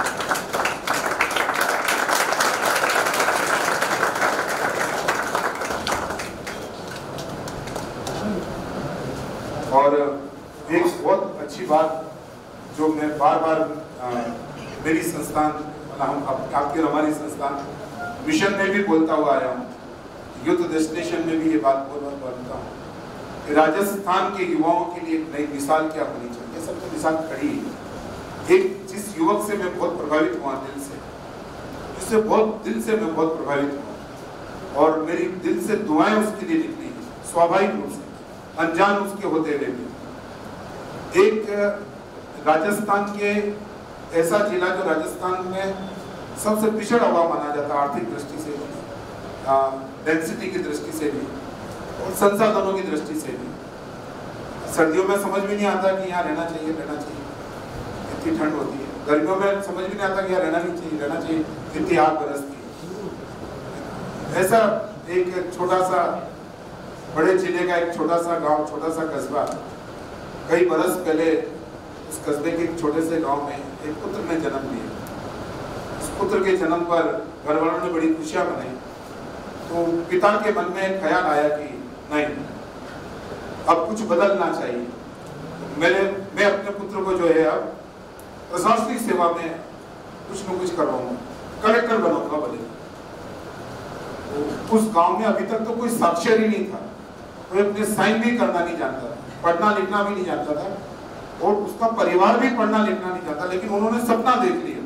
देखो सपना देख लिया पुत्र बड़ा होता चला गया, वो अपने सपने को पिरोते चले गए। पुत्र बड़ा होता गया, सपने को पिरोते चले और जब उन्हें लगा कि उनका पुत्र थोड़ा सा मेच्योर हो गया थोड़ा सा परिपक्व हो गया तो अपना सपना जो था, उन्होंने अपने पुत्र को बताया कि मेरा ये सपना है, तुझे ये करना है।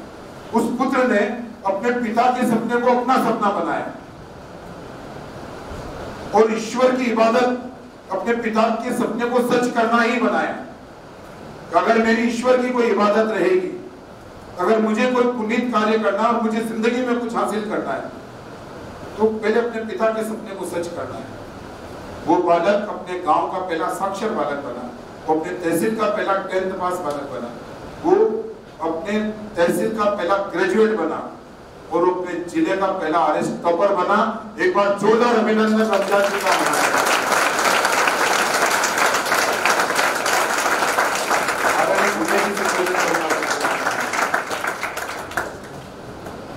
और ये इनका मन में स्वाभाविक ब्लेसिंग क्यों निकली देखो एक रमज़ान इनको देख कर ना मेरे मन में अच्छा ये तो क्या है कि मेरे को तो देवसेना नहीं बनाया। नहीं तो मैं तो इस बाहुबली को, गुलाब का फूल यही दे देता, देखो। सफल लोगों से बड़ा प्रेम होता है। ये किस बात की मिसाल है, देखो। ये रमज़ान जी को मैं इस रूप में हमेशा, मैं अपने छात्रों में इनको परिचित कराता हूँ कि देखो, सफलताएँ सुविधाओं की मोहताज नहीं होती। सफलताएँ संसाधनों की मोहताज नहीं होती। सफलताओं के लिए बड़े बड़े शहरों की ज़रूरत नहीं होती। सफलताओं के लिए हाईटेक होना और अल्ट्रा मोड होने की ज़रूरत नहीं पड़ती है। सफलताओं के लिए किसी स्टाइल की ज़रूरत नहीं पड़ती है। सफलताओं के लिए केवल मात्र अपने माता पिता के सपने को अपने लिए ईश्वर की इबादत बना है ना? सुविधाओं की कहाँ ज़रूरत पड़ती है? है ना? अखबार बेचने वाला तो देश का राष्ट्रपति बन गया। और जिस गाँव में कोई साक्षर नहीं था आपके सामने आर बनकर खड़ा है। ऐसे लोगों से हम प्रेरणा लेकर हम अपनी सफलता का सफ़र शुरू करें, इसलिए मैं ऐसे लोगों का सम्मान करना चाहता हूँ। ये मैं चाहता हूँ कि राजस्थान में इन लोगों को रिप्रेजेंट बहुत अच्छी तरह से किया जाए। अखबार एक ही दिन इनके बारे में नहीं लिखे। एक ही दिन इनके इंटरव्यू नहीं ले बार बार इंटरव्यू ले। हम लोग क्या है? आशा राम जी की पेशी का मूवी दस बार पढ़ लेंगे अखबार में। उनसे युवाओं को क्या लेना देना? है ना? आज उस नदी में इतनी बारिश हुई किशन बिसकपुर का जल स्तर इतना बढ़ा अरे, इन बातों से पूरे राजस्थान को कितना लेना देना? ठीक है, बारिश हो रही बढ़ रहा है। नहीं बढ़ रहा तो आप अरेंजमेंट करो।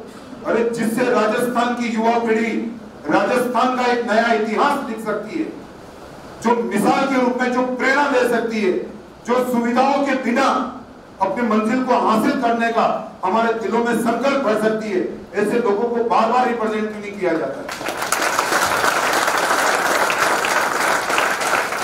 युवाओं के युवाओं के भविष्य को ये बदल सकते हैं।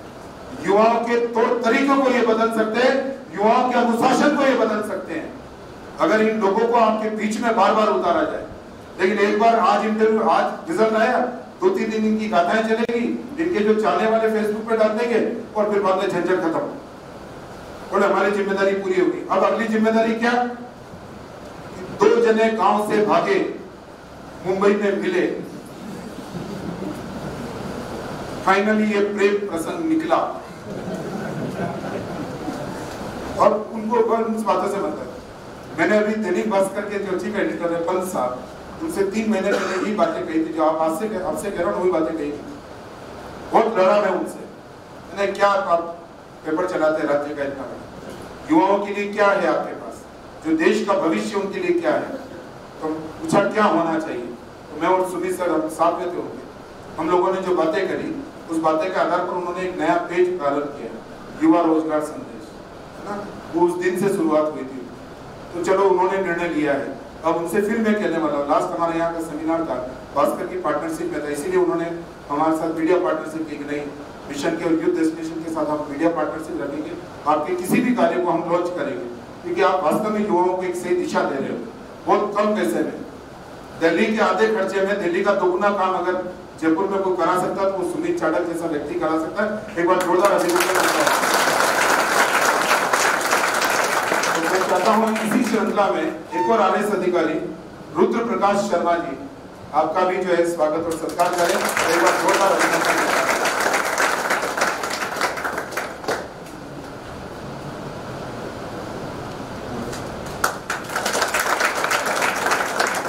और पता है कि अतिथियों का स्वागत सत्कार सबसे पहले होता है, लेकिन उससे भी पहले जो है, मुखिया का सम्मान होता है। मुखिया के रूप में हमारे भुवनेश जी रहे और जिन्होंने अपनी परीक्षा को ज्वाइन करने, अपने कोर्स को ज्वाइन करने से पहले यूथ डेस्टिनेशन एक शिक्षक के रूप में यहाँ के छात्रों को मोटिवेट किया, उनको पढ़ाया, और जो इस परिवार का एक सदस्य बना तो अब समय आ गया है कि परिवार के उसी सदस्य का सम्मान किया जाए।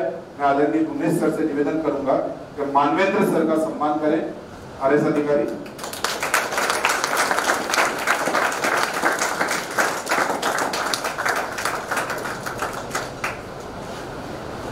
और अब इनका स्वागत सम्मान हो गया और इनका जब स्वागत सम्मान हमने किया, आपने इनका अभिनंदन किया।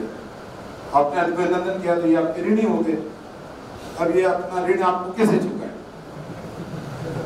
तो क्या यहाँ हिसाब हिसाब किताब बराबर होना चाहिए। तो ऋण में ये चुका था कि मैं आप सभी लोगों से निवेदन करता हूँ, आप सबसे आग्रह करता हूँ। आपके जो छोटे भाई बहन अभी यहाँ बैठे हुए हैं, ये ज़िंदगी के किसी भी काल खंड में अपने लक्ष्य को हासिल करके, अपनी मेहनत से सफलता को प्राप्त करके अगर आपके सानिध्य में ऑफिसर बनकर आए हैं तो इनके साथ जूनियर और सीनियर का व्यवहार नहीं करके अपने साथ छोटे भाई बहन जैसा व्यवहार करना आज का ऋण जो है आप इनके साथ उतार लेंगे, क्योंकि ये सब लोग आपके जूनियर ऑफिसर बनकर बहुत जल्दी आपके सानिध्य में आएँगे।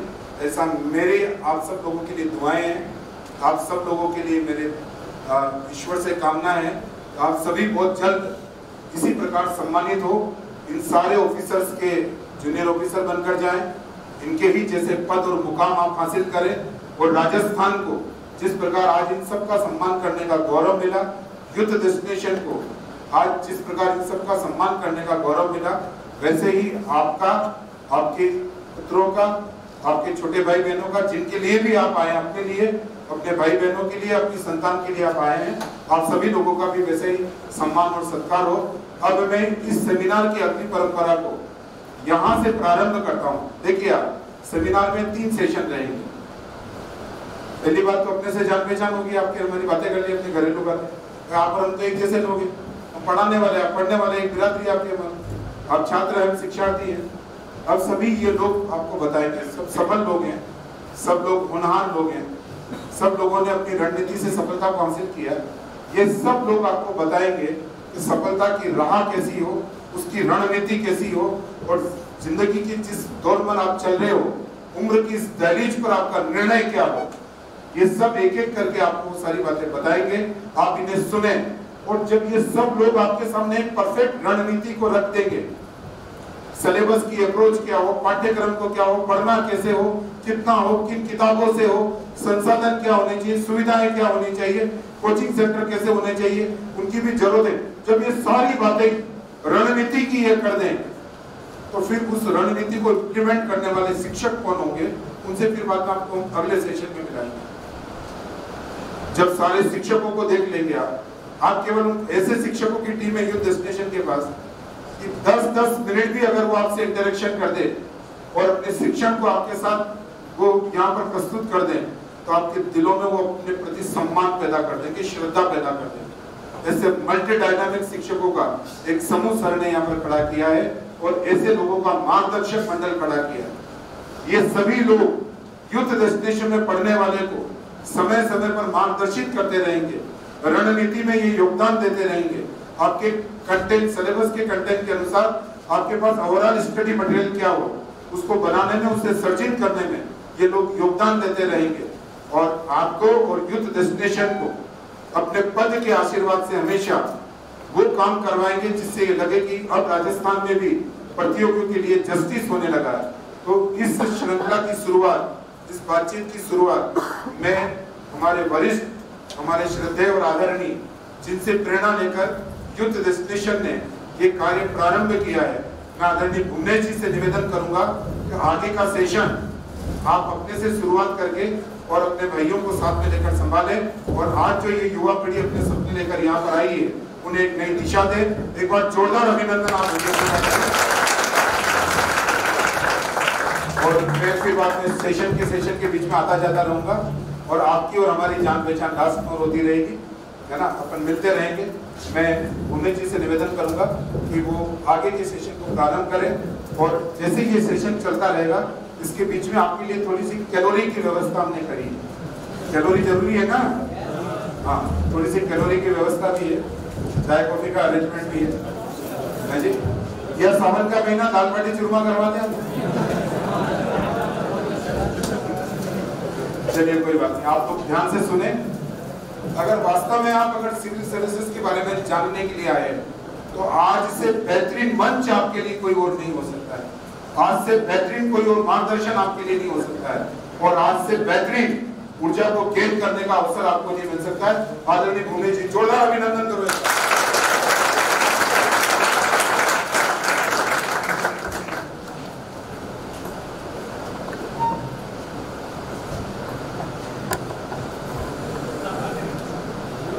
साथियों पा रहे हैं आप से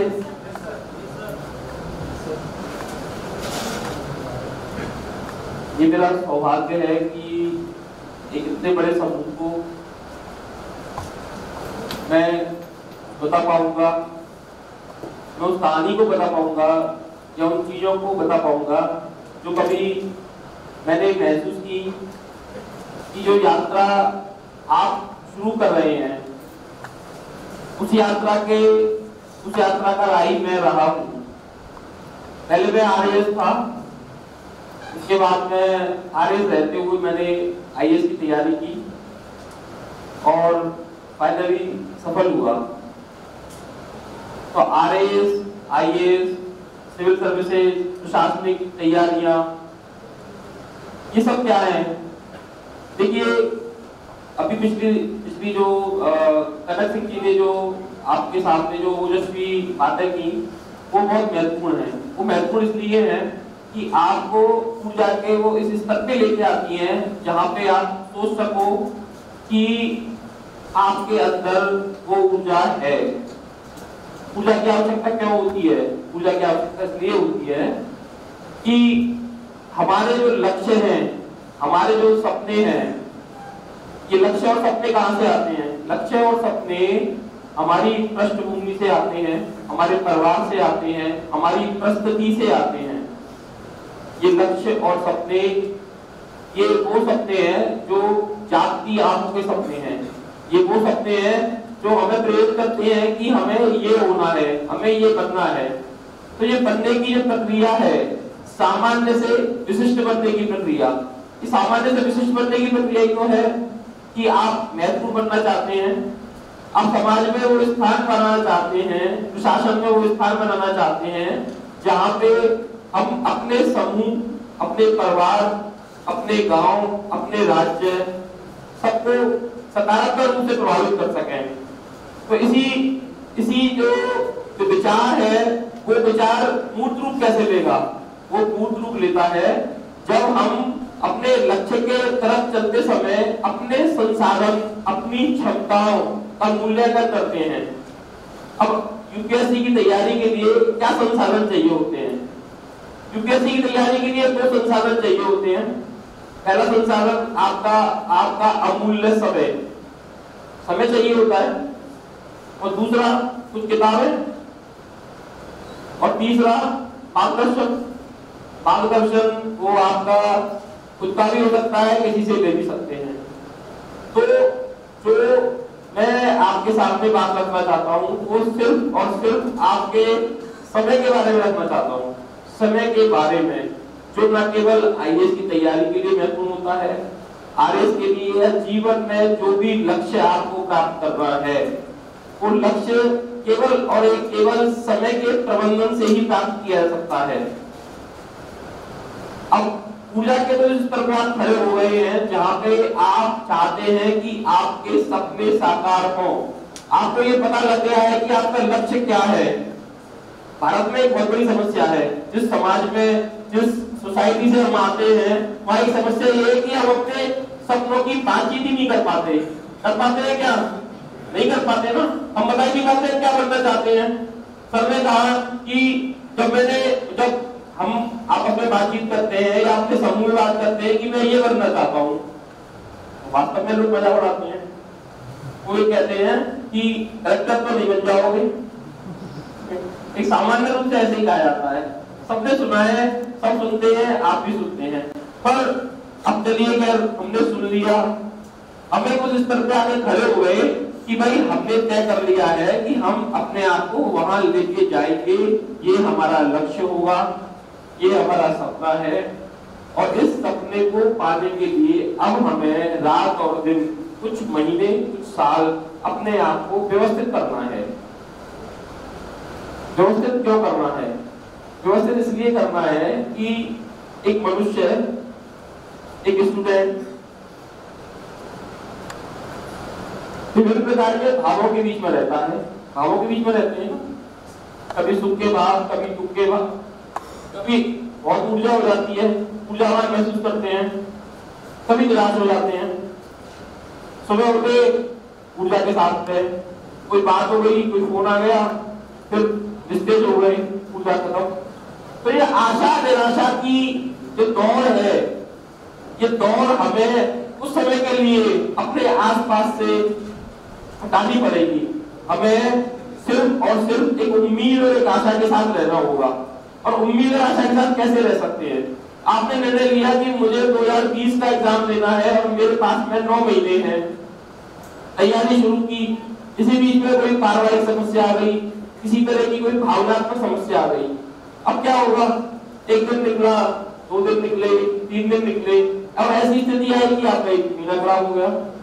अब एक महीना जो आपने एक लक्ष्य बनाया था कि मैं ये कर सकता था। वो छूट गया।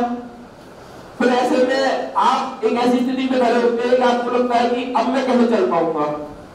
तो सबसे महत्वपूर्ण चीज़ है कि किसी भी परिस्थिति में अपने लक्ष्य के लिए जो समय आपने निर्धारित किया है, उस निर्धारित समय को किसी भी तरीके से सिर्फ़ अपने लिए रखना है। और ये जो अपने लिए रखना होता है, ये कैसे होगा ये ये सिर्फ़ और सिर्फ़ सेल्फ मोटिवेशन और प्रैक्टिस से होगा। आज मैं आपके सामने खड़ा हूँ। मैं आपसे चर्चा करूँगा कि ये समय प्रबंधन करो समय प्रबंधन करो। आपको आवाज़ क्लियर आ रही है ना सारी? तो ये समय प्रबंधन क्या है? समय प्रबंधन एक अभ्यास है, एक प्रैक्टिस है। और ये अभ्यास और प्रैक्टिस तभी सफल हो पाती है जब आप आपका आत्म प्रबंधन कर पाते हो आत्म प्रबंधन देखिए सिलेबस आप देख लोगे कि सिलेबस में इतने पेज हैं ये ये चीज़ें होती है, इन किताबों से ये हो जाएगा। पर जो आत्म प्रबंधन है, जिसे कि आप पिछले 20-25 साल से करते आ रहे हो, जब से आप जागरूक हुए हो। भाई, आपने दसवीं क्लास पास की, बारहवीं पास की बीए किया एमए किया जब जो भी आपने एग्ज़ाम पास किए कुछ लोग तो सफल लोग होंगे ना आप में से। गवर्नमेंट जॉब में होंगे, एक स्थायित्व के साथ जीवन जी रहे होंगे। तो आप पिछले दिनों जो समय प्रबंधन कर चुके हैं वही समय प्रबंधन एक विस्तार के साथ में आपको करना होता है। और सुबह से लेकर के शाम तक की आशा और निराशा की जो लड़ाई है, ये लड़ाई बहुत बड़ी होती है। जब आप चीज़ें शुरू करते हो, आपको लगता है कि मैं एक दिन में कर लूँगा ऐसे, या ये मैं ज़रूर कर लूँगा और जब आप निराशा में आ जाते हो तो लगता है कि होगा या नहीं होगा, ये नहीं होगा। ये नहीं होगा का जो भाव है, ये हमारी क्षमताओं को बिल्कुल रसातल में ले जाता है, शून्य के स्तर पे ले जाता है। तो नहीं होने का जो भाव है, इसको मिटाना पड़ेगा। तो जो प्रयास है, जो प्रयास है आपका, वो सिर्फ़ क्या है? अपने आप को व्यवस्थित करना। समय प्रबंधन अपने आप को व्यवस्थित कर रहा है तो समय प्रबंधन के दो स्तर हो गए।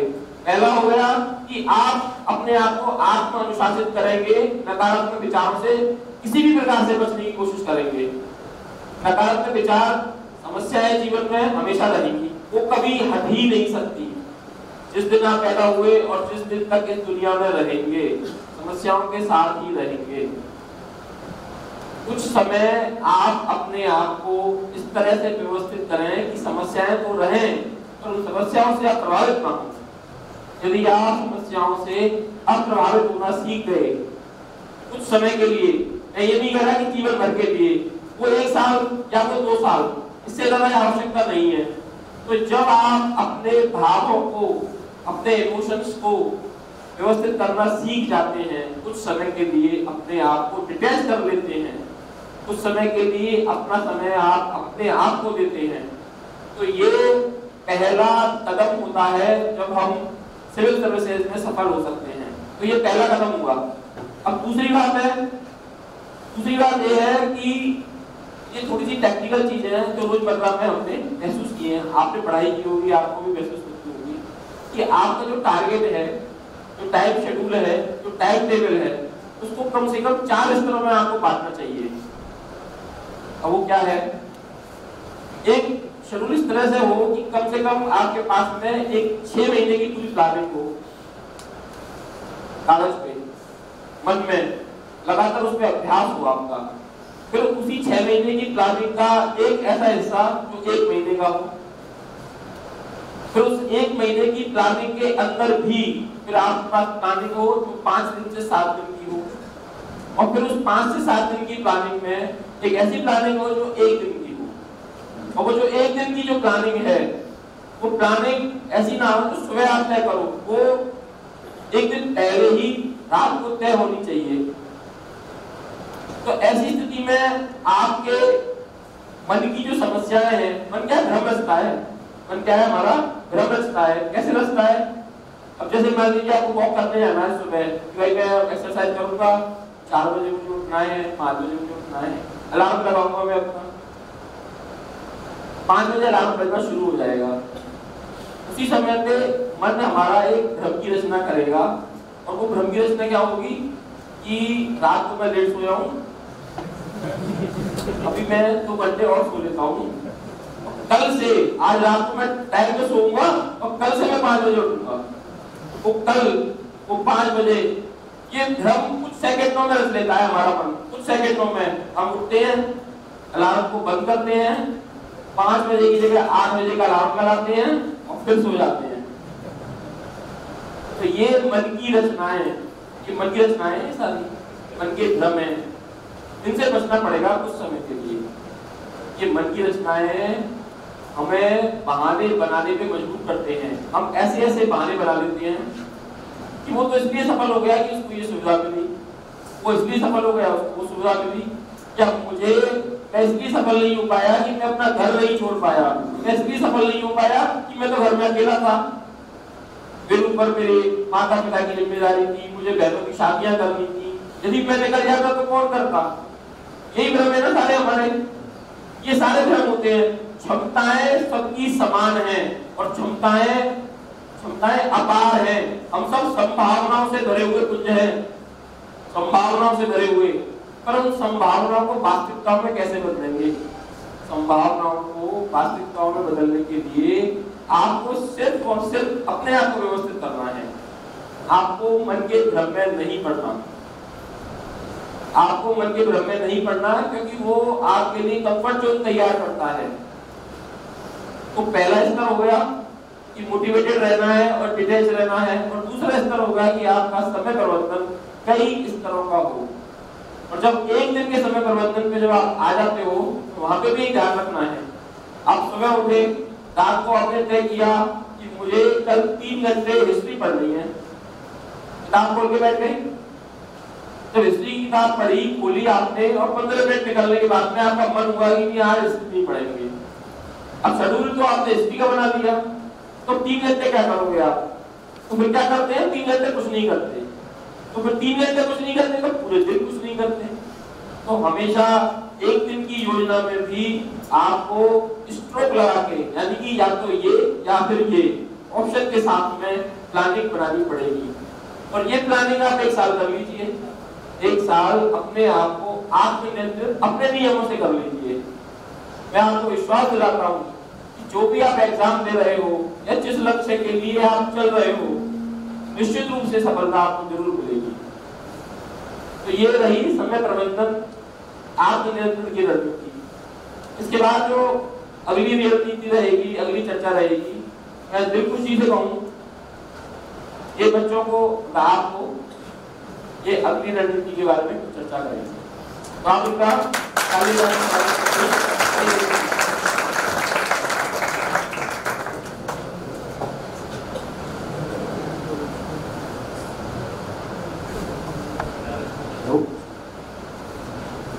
और जानिए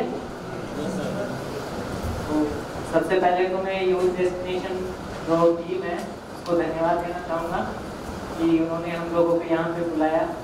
और किसी like fortunate moment for us कि भाई हम आप लोगों से ट्रैक कर पा रहे हैं तो हमने फेस किया है, जो चैलेंजेस हमने फेस किए हैं। उन चैलेंजेस को ओवरकम कैसे किया है, वो आपको बता सके। ताकि जो आपका रास्ता है, जो आपके गोल्स है, चाहे लबास का हो या आर एस का हो गोल में आप मतलब बिना किसी उतार चढ़ाव के कम से कम कठिनाइयों के साथ और बहुत जल्द समय में समय सबसे कीमती होता है। क्योंकि अगर आपका एक अटेम्प्ट बढ़ जाता है तो यू फील डिमोटिवेटेड होता है ना तो कम से कम समय पे आप अपने लक्ष्य तक कैसे पहुँच पाए, उसके बारे में जो शेयर करने का मौका मिला, उसके लिए हम सब सौभाग्यशाली हैं। मैं अपना जो यूपीएससी का जो जर्नी रहा है, वो बताना चाहूँगा। क्योंकि जो मेरा यूपीएससी का जर्नी रहा है, वही सबसे बड़ा मोटिवेशन रहा है तो चैलेंजेस उसमें आए, वही चैलेंजेस मेरे लिए अपॉर्चुनिटीज़ बने और उन्हीं अपॉर्चुनिटीज़ को मैंने कन्वर्ट किया अपने मोटिवेशन में और उसी मोटिवेशन को फाइनली सक्सेस सफलता मिली तो मैं सवाई माधोपुर के पास से आता हूँ। एक गाँव है वहाँ पे। आठवीं तक की एजुकेशन मैंने गाँव में ही की थी। लाइफ में कभी कभी आपके ना टर्निंग पॉइंट्स आते हैं। जब आप कुछ सोच मतलब आपको कुछ पता ही नहीं रहता है, लेकिन आपका जो वे ऑफ़ थिंकिंग है या जो आपका लाइफ है, वो अलग ही रास्ते पे चला जाता है। तो वो मेरा आठवीं का एग्ज़ाम था बोर्ड एग्ज़ाम होते हैं अपने राजस्थान में। तो में गाँव में मतलब दस बारह गाँव पे एक जगह सेंटर आता था। तो में मेरे हाईएस्ट मार्क्स आए थे दस बारह गाँव में परसेंटेज भी हाईएस्ट बनी थी। तो उस टाइम का क्रेज था साइंस मैथ का है ना? तो साइंस में दिलाया, मेरे को पता नहीं था क्यों क्यों दिलाया। गाँव में जितने भी पढ़ते होंगे, उनको पता नहीं होता कि क्यों लेते हैं हम साइंस में, पता ही नहीं रहता ना।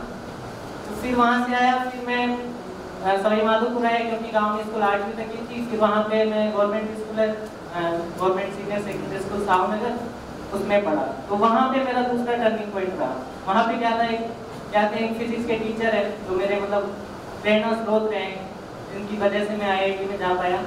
मैं फिजिक्स में सवाई माधोपुर में गवर्नमेंट स्कूल में one of the highest marks तो उन्होंने बोला, क्योंकि जब आप साइंस में ले लेते हैं तो क्या क्या लक्ष्य दिखता है? आईआईटी ठीक है?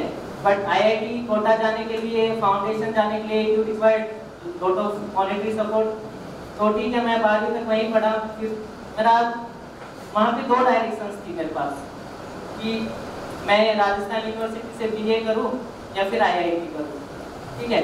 मेरे बड़े भैया हैं, वो भी राजस्थान यूनिवर्सिटी से बीए कर रहे थे, वो भी सिविल्स की तैयारी कर रहे थे। तो फिर घर वालों ने सोचा कि भाई, एक को इंजीनियर बनना चाहिए, ठीक है? तो फिर मैं एक साल के लिए कोटा गया। आई वॉज़ वेरी फॉर्चुनेट कि मैं एक साल में आईआईटी में मतलब एडमिशन हुआ आईआईटी कोर्स मैंने ग्रेजुएशन किया। तो इससे एक पार्ट था कि आप एक गाँव से जाके एक इतनी बड़ी संस्थान में जाते हो तो that saves your personality in very different ठीक है? तो आपका जो सोचने का तरीका होता है, आपका जो व्यक्तित्व होता है ना, वो बिल्कुल मतलब जो बोलते हैं ना आमूल चूल परिवर्तन हिंदी की भाषा में ना। वो मतलब वो काफ़ी एक्सपोजर मिलता है। अलग अलग स्टेट्स के लोग आते हैं। ठीक है? तो आपका जो सोचने का तरीका है, जो डायमेंशंस है, वो मल्टी डायमेंशंस होती है। वहाँ पे फिर मैंने कंटिन्यू किया। हिंदी माध्यम से था तो थोड़े चैलेंजेस आते हैं। इंग्लिश को सीखने में फ़र्स्ट ईयर में तो इंग्लिश को कोप करने में लग जाता है। चैलेंजेस बहुत आए। अगर गिनाना चाहे तो पूरे लेक्चर गिनाने में निकल जाते हैं। लेकिन उन चैलेंजेस को आप अपॉर्चुनिटीज़ में कैसे कन्वर्ट करते हैं, वो सबसे इम्पोर्टेंट है। उन उन चुनौतियों को आप अवसर में कैसे बदलते हो, वो सबसे इम्पोर्टेंट है। तो एक्चुअली वहाँ पे फिर जब आपका थर्ड ईयर आता है ग्रेजुएशन में बीटेक में, सभी लोगों के साथ फेस किया कि यार थर्ड ईयर तक तो ईजी निकल जाता है। और कुछ तो करना पड़ेगा ना। मतलब घर वाले पढ़ाई पूरी होने वाली है आपको जो करना ही पड़ेगा, अपना लक्ष्य निर्धारित करने पड़ेंगे। एक्चुअली क्या होता था, मैं, हमारा इंदौर था, इंदौर के पास गाँव था हॉस्टल के पास तो वहाँ पढ़ाने जाते थे, सरकारी स्कूल में भी फ्री होते थे। ठीक है? तो हम जब पढ़ाने जाते थे, जब हम, हमने बच्चों में चेंज देखा कि भाई उनमें कुछ परिवर्तन आ रहा है, एक सकारात्मक परिवर्तन आ रहा है। कुछ बच्चों का नवोदय में सेलेक्ट हुआ सिलेक्शन हुआ कुछ बच्चों को समझने का तरीका है कि मतलब हम लैपटॉप ले जाते थे, क्योंकि देखो यार, आपको कोई टीचर पढ़ाता है, ठीक है? आपको इमेजिन करना पड़ता है उस चीज़ को, तब जाके आप समझते हो ना? उसी तरीके से हमने सोचा कि अगर बच्चों को वो बोर्ड पे घिसाने पढ़ाने, रटाने की बजाय अब डायग्राम वीडियोस के माध्यम से उनको पढ़ाए तो शायद क्रिएटिविटी बढ़ सकती है। तो हमने काफ़ी मतलब पॉजिटिव चेंज देखा और वो चीज़ मेरे लिए मोटिवेशन बनी। क्योंकि आई के स्टूडेंट्स बहुत सारे हैं, ठीक है? एंड एज ए स्टूडेंट्स अगर हम कुछ चेंज ला सकते हैं तो फिर सोचा कि एज एन एडमिनिस्ट्रेशन कितना चेंज ला सकते हैं? क्योंकि इंजीनियर इज़ स्पेशलाइज थिंग ठीक है? अगर आप एडमिनिस्ट्रेटर बनते तो आपकी मतलब जितना भी एरिया आप समा सकते हो, उतना एरिया आप में आ जाता है। You can work for medical education जितना भी आप सोच सकते हो, उन सब के लिए मतलब टेक्नोलॉजी के लिए काम कर सकते हो। अगर आप टेक्नोलॉजी में अच्छे हो तो अपने डिस्ट्रिक्ट में अच्छी टेक्नोलॉजी का इस्तेमाल करके मतलब वहाँ का ह्यूमन रिसोर्स वहाँ का तो पूरा स्ट्रक्चर है डिस्ट्रिक्ट का, वो चेंज कर सकते हो। तो वहाँ से मेरे ये थॉट है कि भाई को सिविल सर्विसेज़ के लिए जाना है। और शायद काफ़ी सारे लोगों ने जैसे ग्रेजुएशन के समय तैयारी स्टार्ट कर देते हैं वैसे मैं एनसीईआरटी पढ़ना स्टार्ट किया। क्योंकि NCERT is like soul of this both preparation RS and IAS ठीक है? आत्मा है। अगर आप अगर आप एनसीईआरटी अच्छे से पढ़ लेते हैं तो बस आपको फिर एड ऑन करने का वही रिक्वायरमेंट रहता है। एनसीईआरटी बहुत अच्छा बेस है। मतलब हम, मैंने फिर 2015 में मैं पास आउट हूँ, वहाँ से तैयारी स्टार्ट की तो एक महीना कोचिंग से पहले मैं दिल्ली गया। कोचिंग से पहले एक महीना मैंने दो चीज़ पढ़ी बस एनसीईआरटी एंड न्यूज़ पेपर ठीक है? जब तक आप एनसीईआरटी नहीं पढ़ोगे तो आपको क्लास की चीज़ें उतनी क्लियर और मतलब एक जो अंडरस्टैंडिंग होती है ना, वो नहीं तो आप एनसीईआरटी को जितनी बार रिवीजन कर सके एटलीस्ट दो से तीन बार रिवीजन आप करिए तो आपका जो चीज़ों को समझने का वे है ना, वो बहुत फ्रॉड हो जाएगा। बहुत फ्रॉड हो जाएगा और एक ना, जैसे अपन जितनी अच्छी टीम होगी उतनी अच्छा मकान बनेगा तो आपका जो प्रिपरेशन है ना, वो बहुत स्ट्रॉन्ग होगा। ठीक है? मैंने एक महीना ये पढ़ा और फ़र्स्ट अटेम्प्ट में लगी मैंने इंडियन फॉरेस्ट सर्विस और इंडियन सिविल सर्विस दोनों में इंटरव्यू दिया। है मैं सोच रहा था यार, दोनों का मेंस निकले, दोनों इंटरव्यू दे दिए तो किसी में तो सिलेक्शन होगा। लेकिन दुर्भाग्य से दोनों में ही नहीं हुआ। तो फिर यार देखो, जब आप इतना मेहनत करते हैं, आप कुछ एक्सपेक्टेशंस लेके चलते हैं तो डिमोटिवेट तो होती है निराशा तो होती है ना। तो मैंने भी सोचा यार, क्या करें? मतलब काफ़ी सोचा। ठीक है। लेकिन उसके जस्ट बाद सत्रह अठारह सत्रह अठारह दिन बाद प्रीलिम्स था टू वाला। ठीक है। तो मैंने प्रीलिम्स दिया जैसे जैसे अपने आप का मनोबल बढ़ा के किया, बस करना है इस बार। तो फिर प्रीलिम्स का रिज़ल्ट आया तो नहीं हुआ। प्रीलिम्स का मार्कशीट मैंने देखा ना जनरली क्या होता है even our personal life and in our academics we generally know the small small things तो मेरा सीसेट का मतलब जीएस वन में बहुत अच्छे मार्क्स थे, दो पेपर होते हैं G GS and CSAT CSAT में मेरा रहा पॉइंट सत्रह नंबर से। कैन यू पॉइंट सत्रह मार्क्स में कितना महत्व होता है? कितना कम होता है, लेकिन कितना महत्व होता है कि आपको पूरा एक साल बिगाड़ देता है ठीक है? अब क्या करें? आपके दो दो इंटरव्यू देखे मतलब नहीं हो रहा है मतलब सक्सेस नहीं हो रहा और फिर प्रीलिम्स रह गया तो क्या करेगा? तो मैं रियल बताऊँ I to give exams of other competition जैसे मैंने नाबार्ड का एग्ज़ाम दिया था, मैं क्वालिफाई हुआ इंटरव्यू तक। लेकिन जब भी मैं ये एग्ज़ाम्स देने जाता था ना तो मेरे को सबसे टफ एग्ज़ाम्स यही लगती थी। मेरे को सबसे अच्छी एग्ज़ाम लगती थी यूपीएससी मतलब एग्ज़ाम में बैठे बैठे सोच सकता था यार मैं यूपीएससी कर लूँगा, लेकिन इनमें नहीं हो पाएगा ठीक है? मैं अपने अपने आप से खुद से कहता था कि भाई तुम यूपीएससी के लिए ही बने हो, जो भी मतलब चैलेंजेस आए उनको ओवरकम करके दोबारा प्रिपरेशन में लग जाओ। ठीक है? ना it's just matter of time कि आपका समय कहाँ से कहाँ बदल जाता है। ठीक है? तो फिर क्या थोड़ा सोचा अपनी रणनीति के बारे में, अपनी गलतियों के बारे में? तो मेरा क्या पहले जोग्राफी ऑप्शनल था हिंदी माध्यम से आके मैंने पूरा इंग्लिश मीडियम में तैयारी की है। ठीक है, अगर आपके मन में ऐसा संशय हो कि हिंदी मीडियम हिंदी माध्यम वाले इंग्लिश में नहीं कर सकते, बहुत अच्छे से कर सकते हो, बहुत अच्छा स्कोर भी कर सकते हो। ठीक है तो मैंने पहले जोग्राफी ऑप्शनल था, उसकी जगह फिर टाइम बचा ही था, और उस टाइम को निकालना भी था, और कुछ अपनी गलतियों की जगह अगर सही करना है आपको तो कुछ परिवर्तन लाने पड़ेंगे अपनी रणनीति में। मान लो आपका दो टाइम तक उसी रणनीति से नहीं हो रहा है तो you have to change the way ठीक है तो फिर मैंने हिंदी साहित्य लिया। हिंदी साहित्य लेने से पहले बहुत सोचा कि यार अपना इंग्लिश मीडियम में इंटरमीडिएट ईयर्स में, और दोनों लैंग्वेज को कोप करना थोड़ा सा चैलेंजिंग तो रहेगा। लेकिन मैं हिंदी माध्यम से था तो थोड़ा रुचि भी थी। मैंने हिंदी साहित्य ऑप्शनल लिया। ठीक है, फिर मैंने तीन चार महीने तैयारी की अच्छे से। देखो यार, सबसे बड़ी बात है कि कुछ भी परिस्थिति हो ब्लेम कभी नहीं करना चैलेंजेस को अपॉर्चुनिटीज़ में कन्वर्ट करना है, और कंसिस्टेंट रहना अपने अप्रोच में। कंसिस्टेंट कंसिस्टेंट मतलब अगर आप 12 घंटे दे पा रहे हैं तो 12 घंटे रेगुलर मींस रेगुलर बिल्कुल। ठीक है? बाकी जो प्रायोरिटी देखो लाइफ में सबसे बड़ी जो अपना वर्कर कैरियर है वो डिपेंड करता है कि तुम किन चीज़ों को प्राथमिकताएँ देते हो। ठीक है? दो चीज़ें होती है कि कुछ अपनी प्राथमिकताएँ रहती हैं, कुछ अपनी सेकेंडरी थिंग्स रहती हैं। लेकिन जब आप अपने गोल को प्राथमिकता देंगे प्रायोरिटी देंगे, उसके लिए वर्क करेंगे कंसिस्टेंट मेहनत करते रहेंगे, दस से बारह घंटे you will certainly achieve your goal ठीक है तो मैं उसके लिए काम करता रहा। ठीक है, और ये इस बार मैं थर्ड अटेम्प्ट सेकंड में था सेकंड इंटरव्यू कॉल तो मेरे को मतलब जो स्ट्रगल जो लगा ना जो मतलब वो चीज़ मैं बताना चाह रहा हूँ कि दो इंटरव्यू के बाद फेल हुई फेल जो स्ट्रगल था ना, वो मोटिवेशन ही तो रहा। वो अगर नहीं आता तो शायद मतलब कहीं अलाइड सर्विस मिलती या फिर या कहीं कुछ ऐसा हो जाता, है ना? तो मैंने उस जो चैलेंज था, जो कठिनाई कठिन परिस्थितियाँ थी, उनको अवसर में परिवर्तन किया, अवसर में बदला और इस मुकाम तक पहुँचा। और अब मैं बताना चाहूँगा कि आप कई प्रिपरेशन है यार। R S and I S में जस्ट कितना डिफरेंस है। बस एक ऑप्शनल सब्जेक्ट यहाँ नहीं होता बट जो जी एस है, वो जी एस में आर एस में बहुत सारा होता है आई एस के कंपेरिजन में अगर आप देखोगे तो छोटे छोटे माइक्रो टॉपिक्स इसमें होते हैं। मेरा भी अभी आर एस मेन्स था बट मैंने दिया नहीं क्योंकि सर्विस काफ़ी ठीक मिल गई। पहला आर एस का टेस्ट दिया तो यार कुछ तो करना पड़ेगा ना। बट दिया नहीं कि सौभाग्य से सर्विस अच्छी मिल रही थी तो नहीं किया। लेकिन आपको ना मतलब कुछ भी एग्ज़ाम हो, किसी भी एग्ज़ाम की तैयारी कर रहे हो आप मतलब बहुत सारे लोग रोटी की एग्ज़ाम को बहुत सीधी ले लेते हैं बट नहीं पास कर पाते।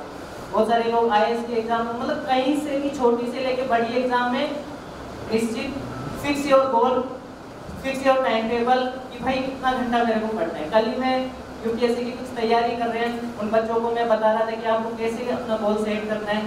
तो वो था कि आप जो सर पहले बता रहे थे, उसी का अलग पार्ट था हमारा थोड़ा सा कि जो डिसाइड हो कि अगस्त से दिसंबर तक आपको क्या करना है। एक मैक्रो प्लान हो गया। उस मैक्रो प्लान में आप माइक्रो प्लान में जाओ। माइक्रो प्लान की भाई छह महीने में वन मंथ में क्या क्या कंप्लीट करना है। ठीक है ना? और वन मंथ में एक वीक में क्या कंप्लीट करना है? And with in one week daily plan क्या होता है? समझ गए?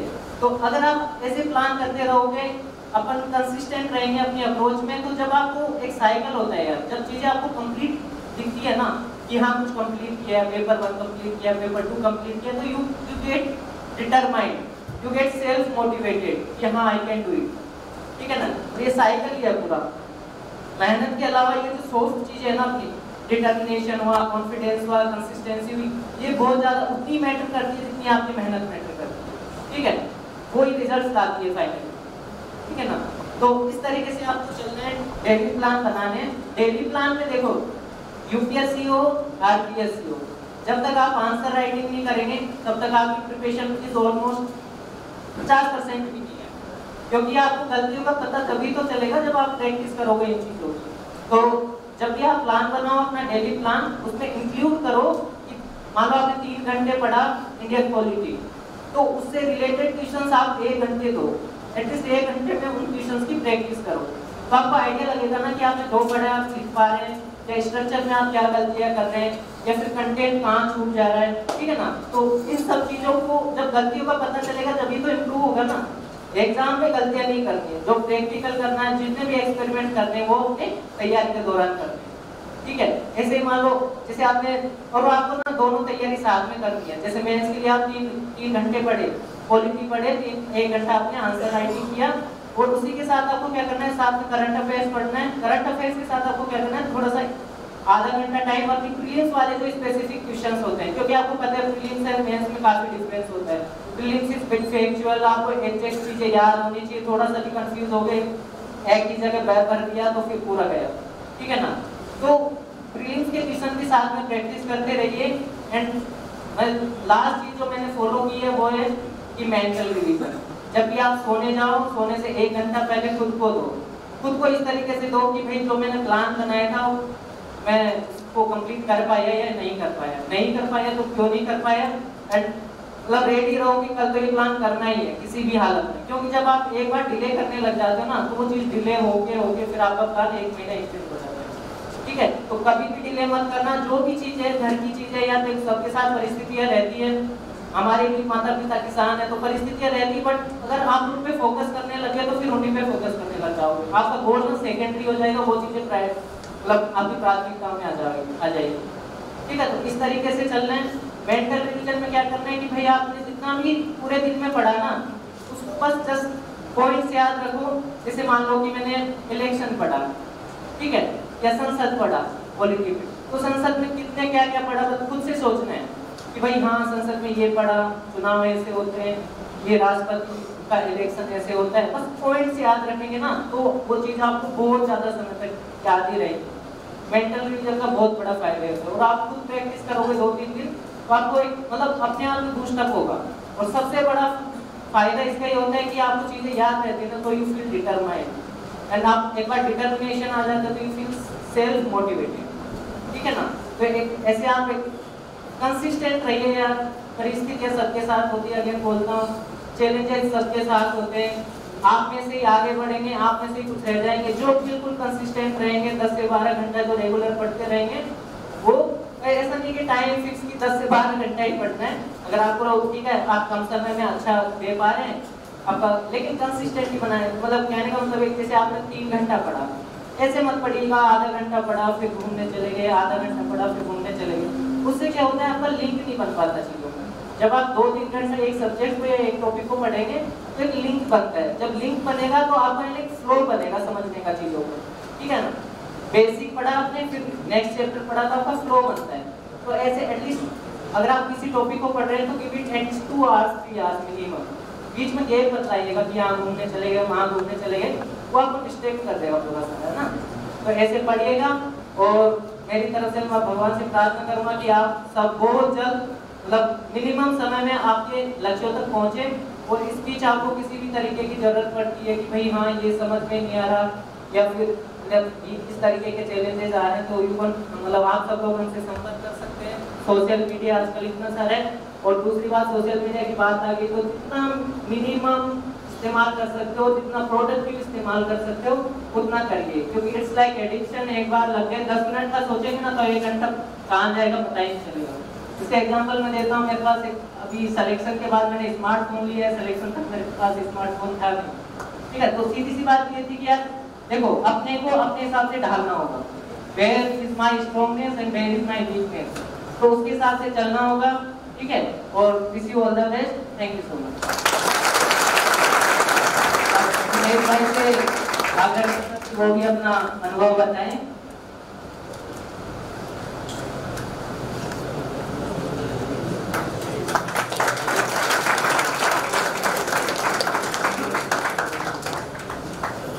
audible to all of you? Hello? से पहले यहाँ मेरे बैचमेट से हम सारी ऑडियंस को बड़ा वेलकम मैं अगर अपने बारे में बताऊँ तो मेरा नाम हितेश कुमार है। मैं करौली डिस्ट्रिक्ट में राजस्थान से बिलोंग करता हूँ। और with regarding to education background मैंने आईआईटी बीएचयू से बीटेक किया है सिविल इंजीनियरिंग में। उसके बाद आईआईटी दिल्ली से एमटेक किया है। उसके बाद मैं इंडियन फॉरेस्ट सर्विस में सेलेक्टेड था और अभी इंडियन सिविल सर्विस में, जिसमें मुझे आई एस अलर्ट हुआ है।